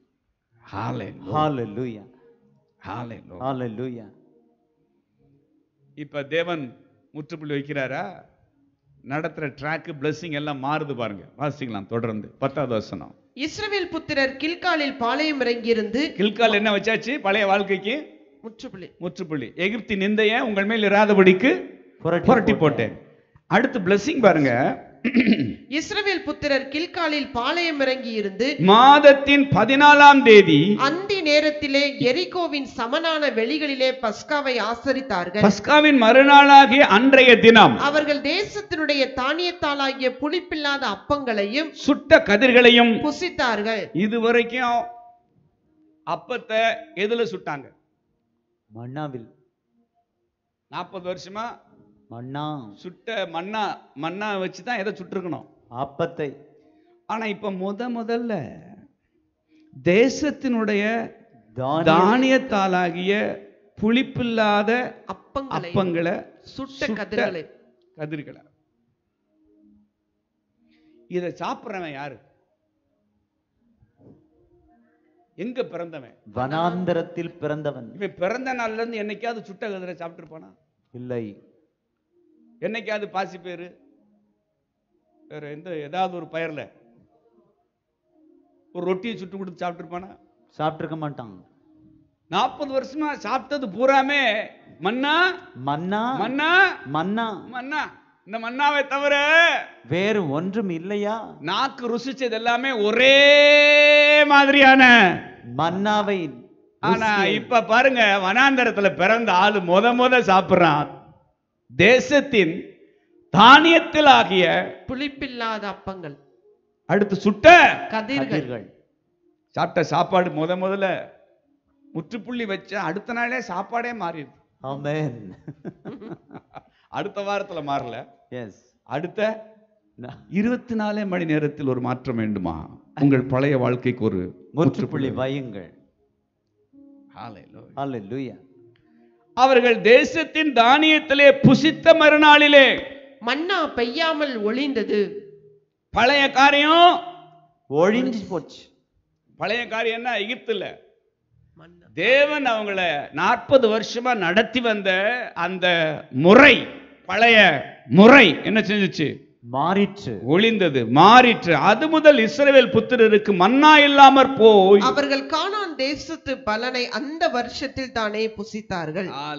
ஹalleluya தேவன் அவங்களை நடத்தின விதம் என்ன செஞ்சு போச்சு மாறி போயிருச்சு மாறி போச்சு Hallelujah. ஹalleluya செங்கடலை கடக்கிறதுக்கு முன்னாடி மோசையை பார்த்து தேவன் சொன்ன வார்த்தை என்ன? யாத்திராம பதினாலு பதிமூணுல இன்றைக்கு நீங்கள் காண்கிற எகிப்தியரை இனி என்றைக்கும் காண காண மாட்டீர்கள் சொல்லிட்டு எகிப்தியரை ஃபுல்லா என்ன பண்ணிட்டாரு? செங்கடல் நடுவுல வச்சு கவிழ்த்து போட்டார். கரையில் நின்னு பாக்குறாங்க எகிப்தியருடைய பிரேதங்களை தான் என்ன செய்றாங்க? பார்க்கிறார்கள். இன்றைக்கு நீங்கள் காண்கிற எகிப்தியரை இனி என்றைக்கும் காண மாட்டீர்கள் செங்கடலை கடக்கிறதுக்கு முன்னாடி. கடந்த பின்னாடி தான் பார்த்தா புறம் புணமா என்ன செய்யுது? மிதக்குது. ஒதுங்குது கரையில. இப்ப யோர்தானை கடந்த பிறகு யோசுவா பார்த்து தேவன் என்ன சொல்றார்? கில்கால யோசுவா அஞ்சு ஒன்பதுல கத்தர் யோசுவாவை நோக்கி இன்று எகிப்தின் நிந்தையை உங்கள் மேல் இராதபடிக்கு புரட்டி போட்டேன் என்றார். அதனால் அந்த ஸ்தலம் இந்நாள் வரைக்கும் கில்கால் ஹalleluya செங்கடலை கடந்த பொழுது எகிப்தை ஒழிச்சாரு. யோர்தான கடந்த பிறகு ஜனங்களுக்குள்ள இருந்த எகிப்தை ஒழிச்சிட்டாரு. ஆமென். ஹalleluya கில்கால் அனுபவத்துக்கு பிறகு இந்த புதிய சந்ததியார் ஒருத்தருக்குள்ள கூட பழைய எகிப்தோட வாசனையே இல்லை. வாசனைகளோட பழைய எகிப்துக்கு எடுத்த நாற்றம் எதுவும் இல்லை. இல்ல. இந்த புதிய சந்ததி மேல வீசினது எல்லாமே அபிஷேக வாசனை. அது தேசத்தை சுதந்தரிக்கிற அபிஷேக வாசனை. சத்துருக்களுக்கு முன்பாக ஒரு பந்தி ஆயத்தம் பண்ணி. என் தலையை எண்ணெயால் அபிஷேகம் பண்ணுகிறீர். என் பாத்திரம் நிரம்பி வழிகிறது. அப்ப முடிவுறேன்னு என்ன சொன்னேன்? எதை விட்டு தேவன் வெளியே நம்மளை கொண்டு வந்தாரோ அதை நம்மளை விட்டு என்ன செய்யறது வெளியே அனுப்புறது. வெளியேற்றுறது தேவன் ஒரு காரியத்தை விட்டு நம்மளை வெளியே கொண்டு வந்தோம். அந்த காரியம் இன்னும் என்ன விட்டு வெளியேறலைன்னா நான் இன்னும் என்ன எழுதல? முடிவுரை எழுதல. முடிவுரை எழுதல. இதுதான் இந்த இந்த பகுதியில தேவன் நமக்கு சொல்லி கொடுத்த காரியம். அடுத்து என்னன்னா எதை விட்டு தேவன் என்னை வெளியே கொண்டு வந்தாரோ அதை அடிக்கடி திரும்பி திரும்பி பார்க்கறதுனால தான் என்னால என்ன உரை எழுத முடியல. முடி உரை எழுத முடியவில்லை. இஸ்ரவேல் புத்திரர் வனாந்தரத்துல செஞ்ச தவறு என்னன்னா கர்த்தரை விட்டு பின்மாறிக்கொண்டே கர்த்தரை பின்பற்ற நினைச்சாங்க. அதாவது ரிவர்ஸ் கியரை போட்டுட்டு முன்னாடி போக என்ன செஞ்சாங்க? ட்ரை பண்ணாங்க. ட்ரை பண்ணாங்க. இது கூடவே கூடாது. லோத்துவுக்கு கெடுத்த காரியத்தில் வாசிங்களேன். எப்படி எப்படி தேவன் அந்த காரியத்தில் நம்மளை எச்சரிக்கிறார் பாருங்க. ஆதியாமத்தின் புஸ்தகம் பத்தொன்பதாவது அதிகாரம் பதினாறாவது வசனத்தை வாசிக்கலாம். சோதம் குமார அந்த அழிக்கிறப்ப தேவன் எப்படி லோத்துவையும் அவனுடைய குடும்பத்தையும் காப்பாற்றுகிறார் பாருங்க. அவன் தாமதித்துக் கொண்டிருக்கும் போது கத்தர் அவன் மேல் வைத்த இரக்கத்தினாலே அந்த புருஷர் அவன் கையையும் அவன் மனை- மனைவியின் கையையும் அவன் இரண்டு குமாரத்திகளின் கையையும் பிடித்து பிடித்து அவனை பட்டணத்திற்கு வெளியே கொண்டு போய் விட்டார்கள். அவர்களை வெளியே கொண்டு போய் விட்ட பின்பு அவர் உன் ஜீவன் தப்ப ஓடிப்போ ஒரு எச்சரிக்கை பின்னிட்டு பாராதே. பின்னிட்டு பாராதே. பின்னிட்டு பாராதே. இந்த சமபூமியில் எங்கும் நில்லாதே. நீ அழியாதபடிக்கு மலைக்கு ஓடிப்போ என்றார். இரக்கத்தினால வெளியே கொண்டு வந்தாரு. இரக்கத்தினால வெளியே கொண்டு வந்தார். ஆனா பின்னாடி பார்த்தேன்னா உனக்கு வர்ற தீங்குக்கு எனக்கு என்ன இல்லை? சம்பந்தமே. சம்பந்தமே இல்லைன்ட்ட ஹalleluya. ஹalleluya எச்சரிப்பு ஓடிப்போ பின்னிட்டு பாராதே. சமபூமி எங்கும்? நில்லாதே. இல்லாதே ஆனா பத்தொன்பது இருபத்தாறுல நடந்த ஒரு துர்ச்சம்பவம் என்னன்னா அவன் மனைவியோ பின்னிட்டு பார்த்து உப்புத்தூண் ஆனாள் எதை செய்யக்கூடாதுன்னு சொன்னாரோ அதை மட்டும் செஞ்சான் எதை செய்யணும்னு சொன்னாரோ அது எதையுமே செய்யல. எஸ் இந்த பின்மாறன் பூரா பண்ற வேலை என்னன்னா எதை செய்யணுமோ அதை என்ன செய்ய மாட்டான்? செய்யவே மாட்டான். எதை செய்யக்கூடாதுன்னு சொன்னாரோ அதைத்தான் செய்வான். அதை மாத்தானே செஞ்சாரு? எஸ் நீ இதை புசிக்கும் நாளில் சாகவே சாவு இது எல்லாத்தையும் என்ன செய்ய? சாப்பிடு. சாப்பிடுற. இதை மட்டும் என்ன செய்யாதடா. சாப்பிடாதற எதை சாப்பிட சொன்னாரோ அதை என்ன செய்யல? சாப்பிடல. எதை சாப்பிட கூடாதுனாரோ அதுலதான் கண் என்ன செய்யுது? போச்சு.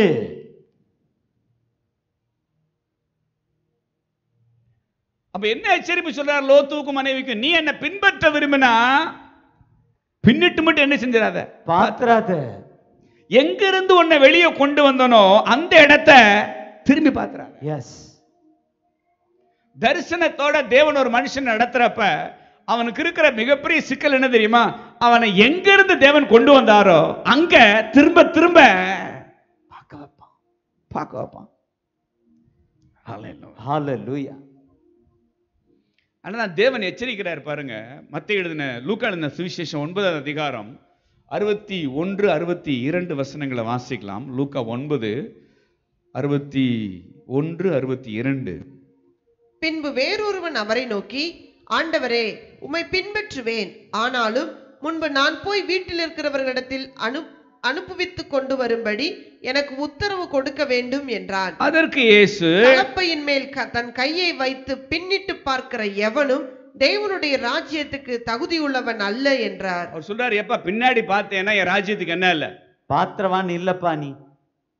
தகுதியே இல்லட்ட எஸ் ஏன்னா நீ எங்க கையை வச்சிருக்கிற? கலப்பையின் மேல. கலப்பையில கையை வச்சுக்கிட்டு முன்னாடி பார்த்தா தான் படைசால் வந்து நேரா இருக்கும். பின்னாடி பார்த்துக்கிட்டு எவன் உழுகுறானோ எல்லாம் அவன் படைசால் எப்படி இருக்கும்? கோணச்சாலாக. கிராமத்துல சொல்லுவாங்க எவன்டா உழுதவன்? உள்ள கோணச்சாலை எடுத்து வச்சிருக்கிறான் அப்படின்னுவாங்க. படைசாலை பார்த்த உடனே எப்படி இருக்கும்? கோணல் மாணல. அவனை கூப்பிடுறாங்கன்னு சொல்லுவாங்க.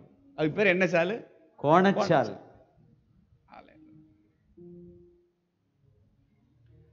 இப்ப கலப்பையில கையை வச்சுட்டு பின்னாடி பார்த்தா என்ன சாலு? கோணச்சால். கோணச்சாலு. ஹalleluya என்னோட படைசால் நேரா இருந்தா நான் எப்படி பார்த்துட்டு உள்றவன் நேரா. முன்னாடி பார்த்து. உழுகிறவன். ஹalleluya. ஹalleluya கலப்பையில கைய வச்சுட்டு பின்னாடி பார்த்தா பின்னிட்டு பார்த்தா விழத்தான் முடியுமே ஒழிய உழ முடியாது. உழ முடியாது. ஹalleluya. ஹalleluya இப்ப கலப்பையில கைய வச்சு உழுகிறவன் செய்யக்கூடாத காரியம் என்ன? பின்னிட்டு பார்க்க கலப்பையில கைய வச்சுட்டு செய்யாத. பின்னாடி பார்க்காத. அந்த நாய் இருக்கான் பாருங்க அந்த நாய். அந்த பிசாசு நாய். நான் முன்னாடி பார்த்து உழுகிறவங்கிறத என்ன பண்ணிட்டான்? மோப்பம் முடிச்சிட்டான். மோப் முடிச்சிட்டான். அதனால கலப்பையில கைய வச்ச எல்லாருக்கும் அவன் கொண்டு வருகிற ஒரு பொதுவான சோதனை. பின்னிட்டு பா கைய வச்சுக்க. ஆனா பின்னாடி பார்த்துக்க. பின்னாடியும் பார்த்துக்க. கலப்பையில இருந்து உடனே கையெடு நான் சொல்லல. ஆனா பின்னாடி மட்டும் பாரு. நீ ஊழியத்துக்கு ஒப்பு கொடுத்த நான் தவறுன்னு என்ன செய்யல? சொல்லல. தேவனுக்காக நீ உத்தமமா இருக்கிற நான் தப்புன்னு என்ன செய்யல? சொல்லல மகனே. கலப்பையில கை வை எடுத்துறாத ஆனா எங்க பாரு? பின்னாடி பாரு. கையை வச்சுக்கிட்டே பாரு. எஸ் ஹalleluya ஏன்னா அப்பதான் படைசாலையும் நாசமாக்கலாம் நம்மளையும் நாசமாக்கலாம். ஒரே கல்ல. ஏன்னா கையை எடுத்துட்டு பார்த்தா நான் மட்டும் தானே விழுவேன். எஸ் கலப்பையில கையை வச்சுக்கிட்டே விழுதா நானும் முழுவதும் அதுவும். தேவனுடைய காரியத்தையும் கெடுத்து என்னையும் என்னையும் கெடுக்கணும். அவனுடைய நோக்கம். Hallelujah. ஹalleluya ரூத்து கலப்பையில கையை வச்சா. பின்னாடி பார்த்தாலா? பார்க்கவே இல்லை. பின்னிட்டே பார்க்கல. உழுகிறவன் சொல்லுங்க உழுகிறவன். உழுகிறவன். கலப்பையில கையை வச்சு உழுகிறவன். கலப்பையில் கை வைத்து உழுகிறவன். அவரை உத்தமமாய் பின்பற்றுகிறவன். அவரை உத்தமமாய் பின்பற்றுகிறவன். கையை வச்சுட்டு பின்னாடி பார்த்து விழுகிறவன். கைய வச்சுக்கிட்டு பின்னாடி பார்த்து விழுகிறவன். அவரை விட்டு பின்மாறினவன். அவரை விட்டு பின்மாறினவன். உழுவது வேறு கீழே விழுவது வேறு. வேறு. நகோமி என்ன ஆலோ- ஆலோசனை சொன்னா ரூத்துக்கு? தப்பு தப்பா ஆலோசனை சொன்னா? இல்ல. இங்க வருமா? சின்ன பிள்ளையா இருக்கிற. கொஞ்சம் வயசு உனக்கு. நீ வாழணும். என் காலம் முடிஞ்சு போச்சு. நான் என்ன செய்ய போறவ? சாக போறவ. ஆனா நீ அப்படி? இல்ல. நீ நல்லா இருக்கணும் தாயி. உன் நல்லது தான் நான் சொல்றேன். நீ ஏன் கூட வந்து உன் வாழ்க்கையை நினைச்சுக்கிறாத? நாசம் பண்ணிக்கிறாத. அப்படி இப்படின்னு பல ஆலோசனை என்ன செஞ்சா? வழங்கினாள். சொல்றப்பே கூட ஒரு வார்த்தையும் சேர்த்திருப்பா. உன் மேல உள்ள அக்கறையில தான். நான் இதை சொல்றேன் தாய். உன் மேல உள்ள கருசனையில தான் நான் இதை நான் சொல்றேன் ரூத்து. Hallelujah. ஹalleluya. நம்மளை பின்மாற்றத்துக்குள்ள தள்ளுறதுக்கு முன்னாடி நமக்கு முன்னாடி நிக்கிற சத்துரு நமக்கு விரோதமா ஒரு வார்த்தையும் பேச மாட்டான். எஸ் யாருக்கு விரோதமா? நமக்கு விரோதமா ஒரு வார்த்தையும் பேச. பிசாசு எனக்கு விரோதமா எந்த வார்த்தையும் பேசாம என் நலன்ல அக்கறை கொண்டு பேசுறான்னா என்னை தள்ள போறான்னு அர்த்தம். எஸ் நான் பைபிள் காலேஜ் முடிச்சுட்டு வீட்டில் ஒரு மாதம் சும்மாவே உட்காந்துக்கிட்டு இருந்தேன். அப்போ எங்கள் அம்மா என்கிட்ட வந்து தம்பி பைபிள் காலேஜ் முடிச்சுட்டு சும்மா உட்காந்துக்கிட்டு இருக்கேடா ஒரு மாதம் ஊழியத்துக்கும் போக மாட்டேங்கிற. அதனால் ஒன்றுமே பிரச்சனை இல்லைடா. உன்னை கூட்டிகிட்டு போய் பெங்களூரில் ஒரு டீச்சர் ட்ரைனிங்கை சேர்த்து விட்டுறேன். ஒரே வருஷம்தான்டா. முடிச்சுட்டு வந்த கையோட உனக்கு கவர்மெண்ட் வேலை கிடைச்சிரும். அப்புறம் உனக்கு கை நிறைய காசு கிடைக்கும். அதை வச்சு நீ ஸ்கூல்ல வேலை செய்யறத வச்சு நிறைய குழந்தைகளை ஆண்டவருக்குள்ள நடத்தலாம். உனக்கு வர அந்த சம்பளத்தை வச்சு நிறைய ஊழியங்களுக்கு தாங்கலாம். அம்மா சொல்றதை கேளு. அதனால வா டீச்சர் ட்ரைனிங்க்கு போகலாம் அப்படின்னா எனக்கு கொஞ்சம் அப்படியே மனசு அப்படியே இழக்குது. அம்மா சொல்ற ஆலோசனை நல்ல ஆலோசனை தானே அப்படின்ட்டு இங்கே உபவாச கூட்டம் நடக்குது. ரா- தங்கச்சி மடத்தில். அப்போ நான் செங்கல்பட்டுலேருந்து பஸ் ஏறி அப்படியே வரேன். டே எதுக்காகடா அழைச்சிருக்கிறேன் என்னடா டீச்சர் ட்ரைனிங் உனக்கு வேண்டி கிடக்குதுன்னு ஆண்டவர் உள்ளத்துல பேசுறார். இங்க உபவாச கூட்டம் முடிச்சுட்டு அண்ணங்கிட்ட சொன்ன உடனே அது இல்லையா தேவ சித்தம்னு? நல்ல ஆலோசனை சொன்னதோட நான் அப்படியே புறப்பட்டு போனேன். உங்களுக்கு எதிரா பேசுனாங்களா? உங்களுக்கு சார்பா பேசுனாங்களா? சார்பா? என்ன தம்பி ஒரு மாசம் சும்மாவே உட்காந்துக்கிட்டு இருக்க. நீ நிறைய குழந்தைகளை சந்திக்கலாம்டா. உனக்கு வர சம்பள காசை வச்சு எத்தனை ஊழியங்களை தாங்கலாம்? கொஞ்சம் யோசிச்சு பாருடா. நம்ம சார்பா பேசுறப்ப அவன் டார்கெட் பண்ற ஆளு நம்ம மேல பாசமா இருக்கிற ஆளு. சொல்லுங்க. பாசமா. உங்க மேல ரொம்ப பாசம் வச்சிருக்கிற ஆளை குறிச்சு கொஞ்சம் எச்சரிக்கையா இருக்கு.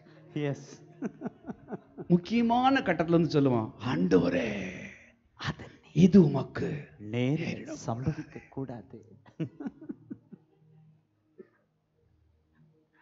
அப்ப நகம் எதுல பேசினாங்க? அக்கறை இல்ல அக்கறையில. அக்கறை இல்ல ஹalleluya நம்ம நலன்ல ரொம்ப அக்கறை இருக்கிற மாதிரி நினைச்சிட்டு நம்ம சார்பா பேசுற மாதிரி பேசி நம்மள தேவனுக்கு விரோதமா திருப்புற ஆள் இருக்கிறாங்க பாருங்க. அவங்களுக்கு பின்னாடி யார் இருக்கான் பிசாசு இருக்கிறான் ஹalleluya. ஆண்டவரை இது உமக்கு நேரிட. கூடாதே.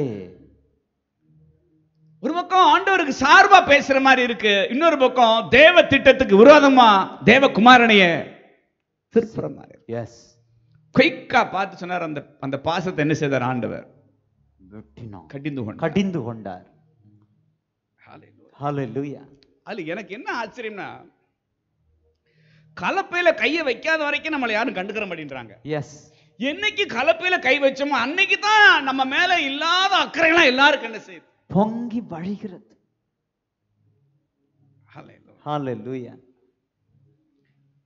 உங்க மேல அக்கறை கொள்றத நான் தப்புன்னு சொல்லல. உங்க சார்பா பேசுற மாதிரி பேசிட்டு தேவனுக்கு விரோதமா அந்த சம்பாஷணை உங்களை திருப்பும்னா அந்த அக்கறை தேவையில்லாத அக்கறை. எஸ் அப்படிப்பட்ட அக்கறைக்கு நான் செவி கொடுக்கணுங்கிற அவசியமே இல்லை. இல்ல.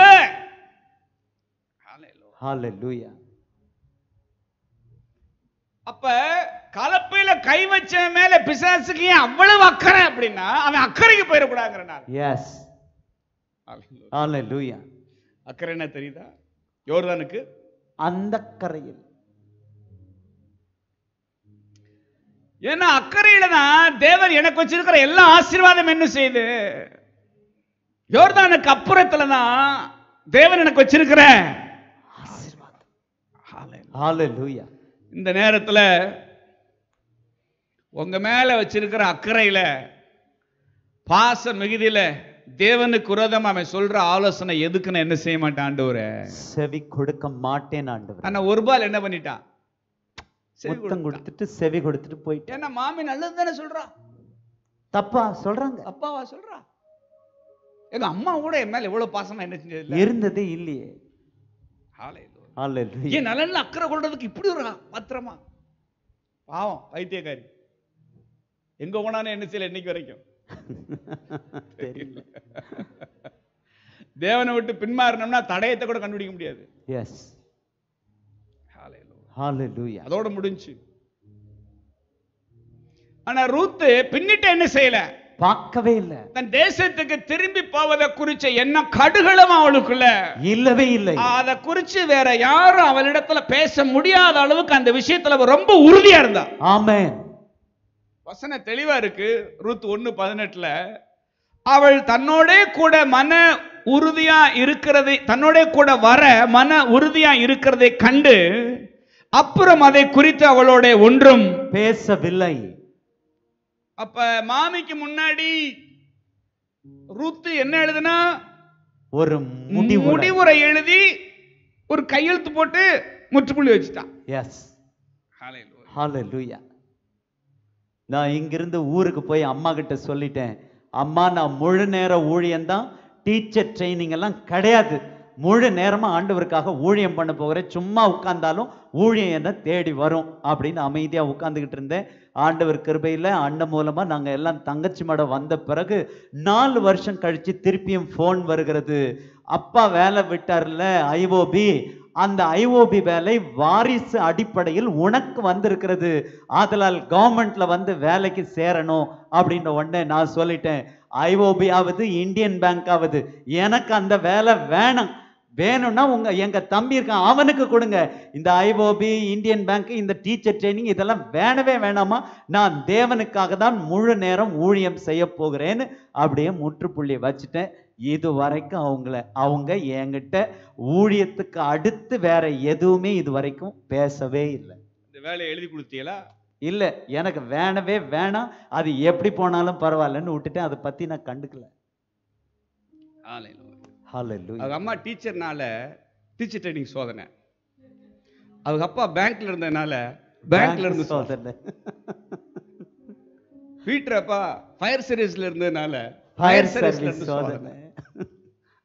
வேலை உனக்கு வேணுமா? உங்க தங்கச்சிக்கு வேணுமா? என் தங்கச்சிக்கு எழுதி தரேன்னு எழுதி என்ன வச்சுட்டாரு? கொடுத்துட்டாரு. இன்னைக்கு வேலைக்கு ஜாயின் பண்ணியிருந்தா குறைஞ்சது ஐம்பதாயிரம் ரூபாய் பீட்டரனுக்கு சம்பளம். பழைய வாழ்க்கைக்கு ஒரு முற்றுப்புள்ளி. பழைய வாழ்க்கைக்கு நாம ஒரு முற்றுப்புள்ளி வைக்கிறப்ப நாம பயணிக்கிற திசையவே தேவன் மாத்தி விட்டுறாரு. Yes hallelujah. நாங்க நேத்து வினோத் வந்து மெடிக்கல் ஷாப் ஆரம்பிச்சான் ஏஞ்சலோட தம்பி. அதோட மெடிக்கல் ஷாப்பை திறந்து வச்சுட்டு உட்காந்துருக்கிறப்ப அவளுக்கு தம்பியா போய் உரிமையா கல்லாப்பட்டியில் உட்காந்துட்டாப்ல அதை ராவி போட்டோ எடுத்து வாட்ஸ்அப் குரூப்ல போட்டு விட்டான். அதை பார்த்தோன்னே நான் எழுதி விட்டேன் கீழே. தேவன் மட்டும் என்னை ஊழியத்திற்கு அழைக்காமல் இருந்திருந்தால் நான் நடத்துகிற மருந்து கடையில் என் மனைவியும் இப்படித்தான் கல்லாப்பட்டியில் உட்கார்ந்திருப்பார்.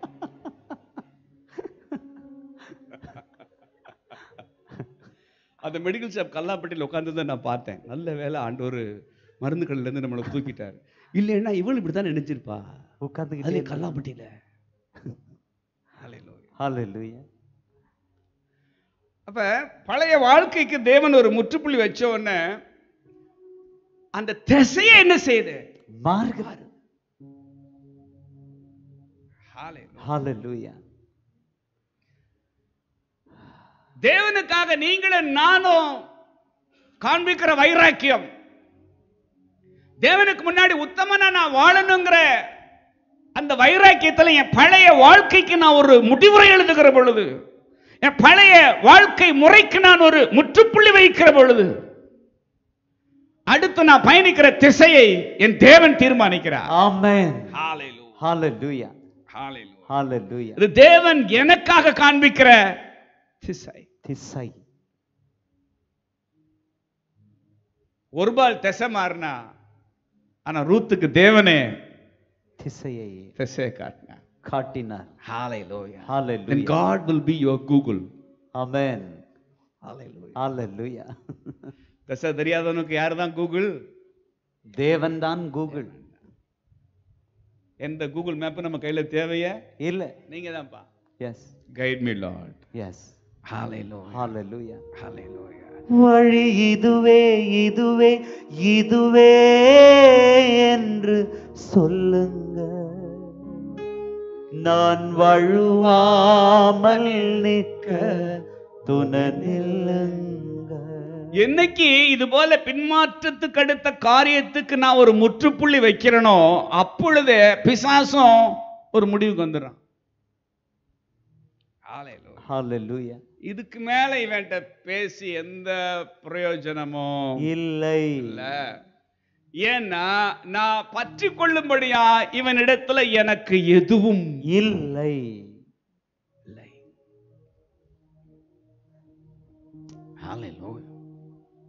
வனாந்தரத்துல ஆண்டவரை இயேசு கிறிஸ்து சோதிச்சு முடிச்ச பிறகு பிசாசு இந்த முடிவுக்கு தான் வந்தான். என்ன முடிவுக்கு வந்தான்? இத்தனை விதத்துல சோதிச்சு பார்த்துட்டேன். நான் பற்றி கொள்ளும்படியா எந்த ஒரு பிடிமானம் இவற்ற இல்லையே.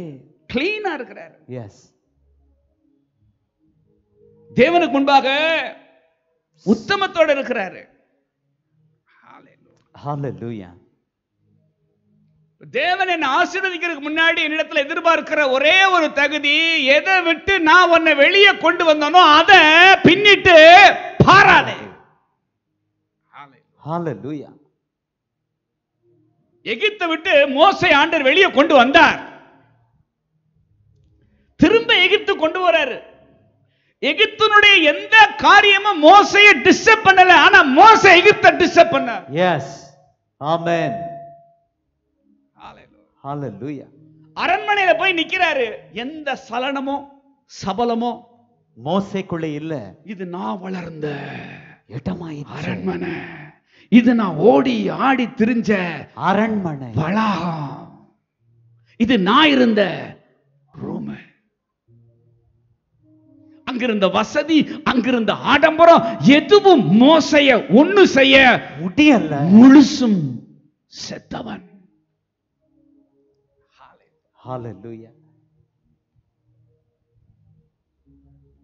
திரும்பவும் சொல்றேன் பழைய எகிப்து மோசைய ஒண்ணும் செய்ய முடியல.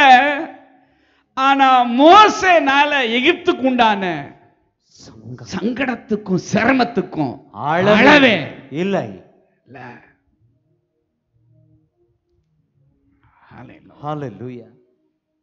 இதான் தேவனை உத்தமமா பின்பற்றுகிற மனுஷனுக்குள்ள காணப்படுகிற இருதயம். எங்க நிக்க பயந்தனோ அங்க தேவன் என்ன கொண்டு போய் நிறுத்துவா. எந்த இடத்தின் காரியங்கள் முன்னாடி என்ன தூண்டுச்சோ அந்த இடத்தின் காரியங்கள் இப்பொழுது எனக்கு முன்பாக செயலற்று பலனற்று சத்துவமத்து விழுந்து கிடக்கும். எஸ் ஹalleluya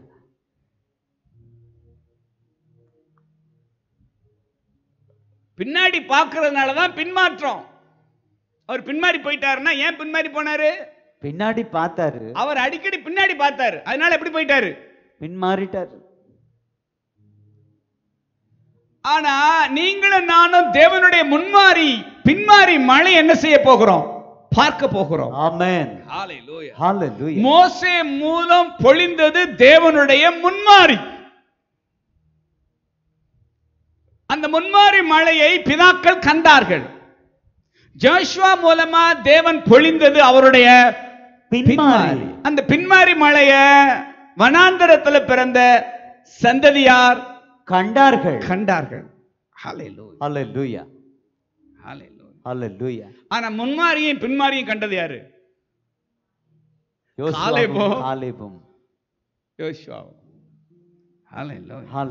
எலியா மூலமாய் பொழிந்தது. முன்மாறி. எலிசா மூலம் தேவன் பொழிந்தது அவருடைய. பின்மாறி. ஹalleluya எலியா ஊழியத்துக்கு அழைச்ச உடனே எலிசா பின்னாடி என்ன செய்யல? எலியாவுக்கு பிறகு ஓடி என்ன செய்தானா? ஊழியம் செஞ்சானா? யாரு? எலி- எலிசா. நீங்க சாமுவேல் ஆனுன்னா முதல்ல ஏலிக்கு ஊழியம் செஞ்சாகணும். எஸ் எசைக்கு என்ன சொல்லுவாங்க? நீங்க ஊழியக்காரனுடைய பேக ஃபர்ஸ்ட் சுமக்கு தூக்க ஆரம்பிங்க ஊழியத்துக்கு வரவங்க கர்த்தர் உங்களை தூக்கிடுவார் அப்படின்னு நீங்க யோசுவா ஆகணும்னா முதல்ல மோசேக்கு என்ன செய்யணும்? பணிவிடை செய்யுங்கள். நீங்க தீமோத்தி ஆகணும்னா முதல்ல யாருக்கு ஊழியம் செய்யணும்? பவுலுக்கு ஊழியம் செய்யுங்கள். நீங்க எலிசா வாங்கணும்னா முதல்ல யாருக்கு ஊழியம் எலியாவுக்கு ஊழியம். பிதாக்கள் வழியா பொழிந்தது முன்மாறி பிள்ளைகள் வழியாக பெய்ய போவது? பின்மாறி. ஆண்டவரை இயேசு கிறிஸ்து பாடுபடுவதற்கு முன்பு பொழிந்தது முன்மாறி பாடுபட்டு உயிர்த்தெழுந்த பிறகு பொழிந்தது பின்மாறி. பின்மாறி. ஹalleluya தேவனை விட்டு பின்மாறினவர்கள் பின்மாறி என்ன செய்ய முடியாது? காண முடியாது. ஒரு பின்மாறி மழை ஆமென் பெய்ய நிச்சயம் போகிறது எஸ். ஹalleluya. ஹalleluya இப்ப தேவனை விட்டு பின்மாறின கூட்டம் இல்ல. தேவனுக்காக தங்களுடைய பழைய வாழ்க்கையை பின்னிட்டு பார்க்காதவர்களே தேவனுடைய பின்மாறி என்ன செய்கிறார்கள்? காண்கிறார்கள். தேவனை விட்டு பின்மாறினா முன்னிலைமையோட பின்னிலைமை மோசமா இருக்கும். தேவனை உத்தமமா பின்பற்றினா முன்னிலைமையோட பின்னிலைமை மேலா இருக்கும். ஆமென். ஹalleluya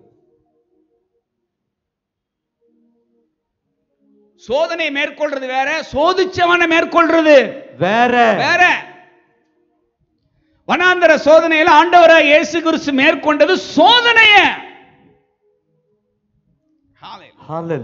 ஆனா கெத்செமனே தோட்டத்துல அவர் மேற்கொண்டது தன்னை சோதித்தவன. எஸ் அதுதான் பேஷன் ஆஃப் கிரைஸ்ட் படத்துல கெச்சமனையில ஆண்டவர் தன்னுடைய வியர்வையின் பெருந்துளிகள் ரத்தமா மாறுற மாதிரி ஜெபிக்கிற அந்த அனுபவத்துல கடைசியில அந்த பயத்தை ஜெயிச்சிட்டு தனக்குள்ள காணப்பட்ட திகிலை ஜெயிச்சிட்டு கலக்கத்தை ஜெயிச்சிட்டு சிங்க மாதிரி எழுந்து நிக்கிறப்ப ஒரு பாம்பை காட்டுவாங்க. நச்சின தலையில் என்ன செய்வார்? நசுக்கு நசுக்குவார். இந்த சர்ப்பம் தான் வனாந்தரத்தில் அவர் என்ன செஞ்ச சர்ப்பம்? சோதிச்ச சர்ப்பம். எஸ் சோ வனாந்தரத்துல என் ஆண்டவர் மேற்கொண்டது சோதனைய. கெச்சமனில என் ஆண்டவர் மேற்கொண்டது அவரை சோதிச்சவன். சோதிச்சவன. முதலாம் மாதம் சோதனையை ஜெயிக்க முடியாததுனால சோதிச்சவன் யாரை ஜெயிச்சுட்டு போயிட்டான்? ஆதாம ஜெயிச்சுட்டு போயிட்டான்.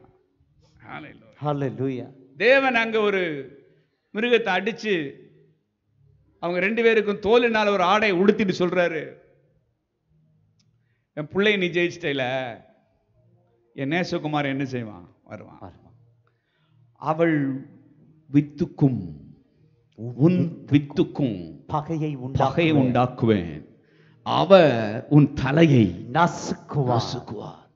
Hallelujah. ஹalleluya Hallelujah. ஹalleluya என் நேசகுமாரை நான் அனுப்புவேன். எப்படி முதலாம் மாதாம நீ சோதிச்சியோ அதே மாதிரி ரெண்டாம் மாதம் ஆகிய என் மகனை நீ என்ன செஞ்சு பார்ப்ப?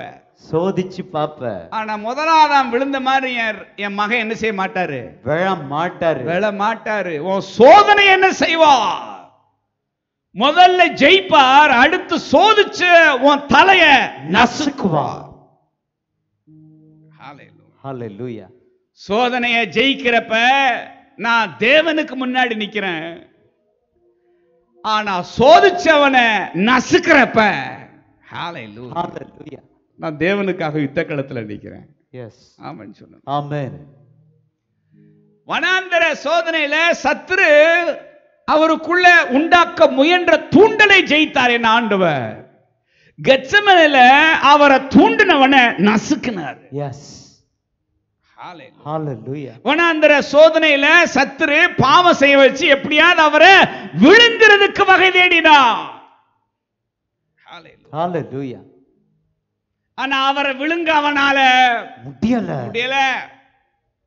ஆனா கல்வாரி சிலுவையில என் ஆண்டவர் பெற்ற வெற்றி மரணத்துக்கு அதிகாரியாகிய பிசாசை விழுங்கு ஒன்னு குருந்தியர் பதினஞ்சு ஐம்பத்தி நாலுல வாசிக்கிறோம்.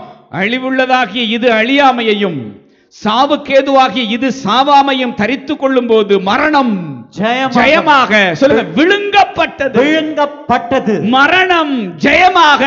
விழுங்கப்பட்டது. மரணம் எல்லாரையும் விழுங்குச்சு. மரணம் முதல் ஆதாம விழுங்குச்சு. ஆனா ரெண்டாம் ஆதா பெற்ற வெற்றி மரணத்தையே. ஜெயமாக விழுங்கிற்று.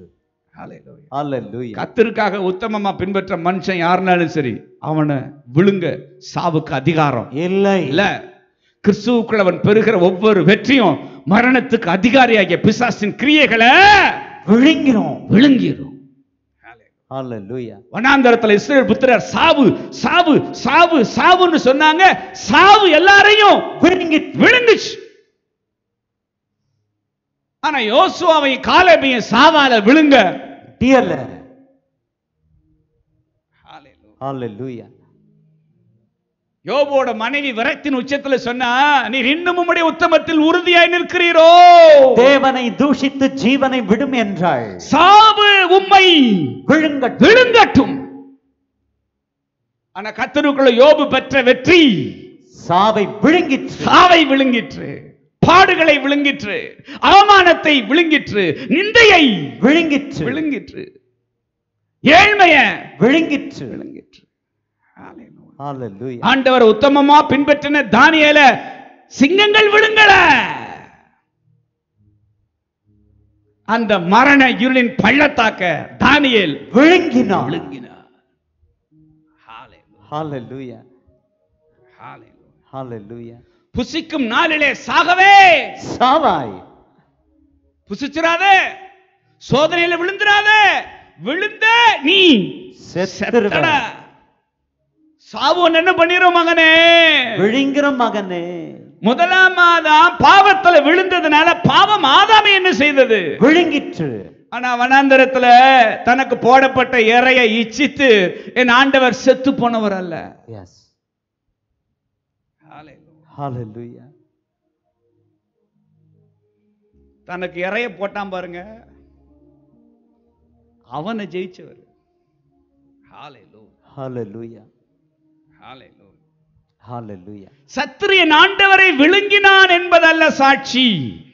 என் ஆண்டவர் பெற்ற வெற்றி மரணத்துக்கு அதிகாரியாகிய சத்ருவை விழுங்கியது என்பதே சாட்சி. சாட்சி. ஏசாயா இருபத்தி அஞ்சு எட்டுல வாசிக்கிறோம் அவர் மரணத்தை ஜெயமாக விழுங்குவார். அவர் அடக்கம் பண்ணவங்க சொன்னாங்க எல்லாரும் மரணம் ஆண்டவர் என்ன பண்ணிருச்சு? விழுங்கிருச்சு. விழுங்கிருச்சு. செத்து போயிட்டார் அவரு. ஆனா அவர் உயிர்த்தெழுந்த பொழுது அவர் எதை விழுங்கினாரு? மரணத்தை. உயிர்த்தெழுதல் எதை விழுங்கிருச்சு? மரணத்தை. அதனாலதான் முதல்ல ஆண்டவர் சொன்னார் கோதுமை மணியானது நிலத்தில் விழுந்து சாகாவிட்டால் தனித்திருக்கும். செத்ததே ஆகில் மிகுந்த பலனை கொடுக்கும் என்றார். சாவை குறிச்சு அங்க பேசல. ஒரு விதை சாவை எப்படி விழுங்குதுங்கிறத குறிச்சு என்ன செய்தா? பேசினார் ஒரு விதையை விதைக்கிறப்ப அந்த விதைக்கு நிகழ்வது மரணம் அல்ல விதையை விழுங்க மரணத்தினால். முடியாது. முடியாது. ஏன்னா மரணத்தை விழுங்கக்கூடிய அதிகாரம் எதுக்குண்டு? விதைக்கு. விதைக்குண்டு. விதைக்கு. அதனாலதான் தான் போடப்பட்ட குழிய விதை படுகுழியா பார்க்கிறது இல்ல உயிர் உயிர் குழி குழியாக பார்க்கிறது நாலு சுவருக்கு மத்தியில சத்ரு எனக்கு போட்ட இறையை இச்சித்து நான் செத்து போனவன் இல்ல. ஹalleluya மரணத்தை ஜெயமாய் விழுங்கின இயேசுக்குள்ள நான் ஜெயிக்கிற ஆளு சத்ருவ மிதிக்கிற ஆளு சத்ருவோட தலைய நசுக்கிற ஆளு ஹalleluya அவர் நசிக்கிட்டார். எஸ் என்ன பண்ணிட்டார்? அவர் நசுக்கிட்டார். Hallelujah. பத் ஒன்பது கோல் அவர் போட்டுட்டார். நாலு சுவருக்கு மத்தியில சோதனையை ஜெயிச்ச மனுஷன் தான் நாலு பேருக்கு மத்தியில் அவனை சோதிச்சவன் என்ன செய்கிறான்? ஜெயிக்கிறான். வனாந்தரத்துல தன்னை சோதிச்ச சோதனைகளை ஆண்டவர் என்ன செய்தார்? ஜெயித்தார். யாருக்கும் தெரியாத அந்தரங்கத்துல. ஆனா கல்வாரி சிலுவையில நாலு பேருக்கு மத்தியில வச்சு அவனை அவனுடைய எல்லா கிரியைகளையும் சிலுவையில் என்ன செய்தாராம்? உரிந்து. கொண்டு வெளியரங்க கோலமாக்கி. சிலுவையிலே வெற்றி சிறர் எஸ் அவரை நிர்வாணமாக்கிட்டேன்னு பிசாசு சொன்னா ஆனா தேவன் சொல்றார் நான் அவனை என்ன பண்ணிருக்கிறேன் நிர்வாணமாக்கி இருக்கிறேன்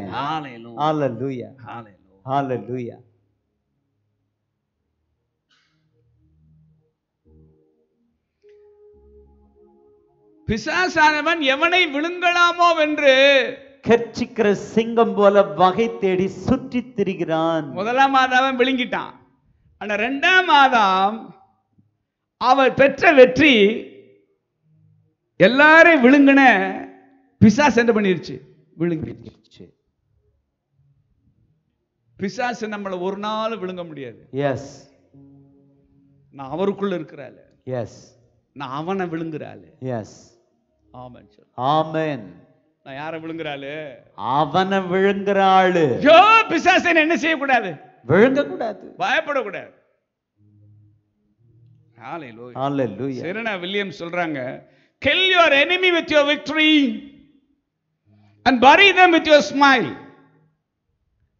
நீ பெறுகிற வெற்றியின் மூலமா எதிரியை கொன்று அடுத்தவனை பார்த்து சிரிச்சு அவனை புதைச்சிருன்றார்.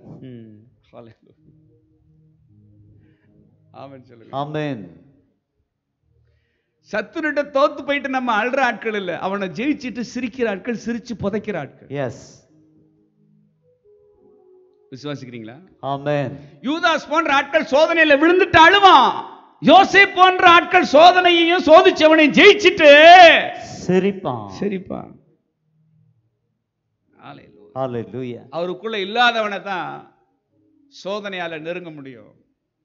அவருக்குள்ள இருக்கிறவன் ஒரு நெருப்பு. அவன் எஸ் அவனை நெருங்க அவனால. முடியாது. முடியாது. விசுவாசிக்கிறீங்களா நீங்க? எஸ் இருளை மேற்கொள்ற அதிகாரம் வெளிச்சத்துக்கு இருக்கா? இல்லை. வெளிச்சத்துக்கு முன்னாடி இருளால நிக்கவே. முடியாது. முடியாது. பிசாசனுடைய கிரியையில விழுந்து நம்ம மரண இருளுக்குள்ள போற ஆட்கள் இல்ல. மரண இருளின் திசையில் இருக்கிறவர்களுக்கு ஒரு வெளிச்சம் போத. ஆண்டவர் நம்ம உதிக்க பண்ணுவார். அந்த வெளிச்சம் வேற ஒண்ணும் இல்ல. கர்த்தருடைய மகிமை. அந்த மாதிரி ஒரு மகிமை நம்ம மேல உதிக்க போகுது. பிசாசனுடைய கிரியைகளுக்கு எந்த விதத்திலையும் சமரசத்துக்கு இடமே இல்லை. இல்ல. அவனோட ஒட்டு இல்ல. உறவும் இல்ல. உறவு இல்ல. எல்லாம் வெட்டு. எல்லாம் வெட்டு. கட்டு. சம்பந்தமே இல்லை. இசைவே இல்லை. பங்கே இல்லை. சம்பந்தமே இல்லை. ஐக்கியமே இல்லை. அந்த மாதிரி தேவனை உத்தமமா பின்பற்றுகிற காலேபுகள் யோசேப்புகள் தேவன் அவர்களுக்காக ஆயத்தம் பண்ணி வச்ச பந்தியில் என்ன செய்வார்கள்? அமருவார்கள். ஆமென். கர்த்தர் உங்களை என்னையும் நமக்காக ஆயத்தம் பண்ணின பந்தியில உட்கார வைக்கிற தருணம் இந்த தருணம். ஆமென். எத்தனை நம்புறீங்க. ஆமென். நம்புறேன் ஹalleluya. ஹalleluya வருஷம் துவங்குனதுல இருந்து தேவன் ஒரே சுத்திகரிப்பு சுத்திகரிப்பு சுத்தி- சுத்திகரிப்பு. இந்த ஒரு உத்தமத்தை வச்சு ஒரு வழி என்ன செய்றார் நம்மள? பண்றார். வந்தார் ஹalleluya. ஹalleluya ஆண்டவரே நீங்க எங்களுக்கு போதிக்கிற இந்த சத்தியங்களுக்காக உமக்கு ஸ்தோத்திரம். அப்படியே கண்களை மூடி பரலோக பிதாவே நாங்க நன்றி சொல்லுகிறோம். அத்தனை லட்சம் புருஷருக்குள்ள புது ரசத்தை வார்ப்பிக்கிறதற்கு தகுதியான ஒரு புது துருத்தியா காலேபும் ஜோஷுவாவும் இருந்தாங்க. அந்த மாதிரியான ஒரு உத்தம இருதயத்தோட உம்மை பின்பற்றுகிற ஒரு வைராக்கியத்தை எங்களுக்கு நீங்க தரும்படியா நாங்கள் செபிக்கிறோம் ஆண்டவரே. ரூத்துக்குள்ள காணப்பட்ட அந்த வைராக்கியம் எஸ்தருக்குள்ள காணப்பட்ட ஒரு உத்தமம் எங்களுக்குள்ளேயும் காணப்படும்படுவதாக சோதனையை ஜெயிக்க எங்களுக்கு பலன் தந்த தேவன். நாலு சுவருக்கு மத்தியில் சோதனையை ஜெயிக்க எங்களுக்கு பலன் தந்த தேவன். நாலு பேருக்கு மத்தியில் எங்களை சோதிச்சவனை நசுக்கிறதுக்கும் எங்களுக்கு நீர் பலன் தருவீரப்பா. அப்பொழுது உம்முடைய வெற்றி எங்களுடைய வெற்றியாய் மாறாண்டு ஆண்டவரே. நாங்கள் உமக்குள்ள ஜெயங்கொள்ளுகிற யுத்த புருஷர்கள் அப்பா இந்த வார்த்தைகளை கொண்டு எங்களிடத்துல பேசி எங்களை உம்மோடு சீர்பருந்த செய்கிறதற்காக மக்கு நன்றி. எல்லா துதி கன மகிமை யாவற்றையும் உங்க ஒருவருக்கே நாங்கள் ஏறெடுக்கிறோம். இயேசுவின் நாமத்தில் ஜெபித்து ஜெயம் எடுக்கிறோம் நல்ல பிதாவே ஆமே என் ஆத்மாவே கத்தரை ஸ்தோத்திரி. என் முழு உள்ளமே அவருடைய பரிசுத்த நாமத்தை ஸ்தோத்திரி.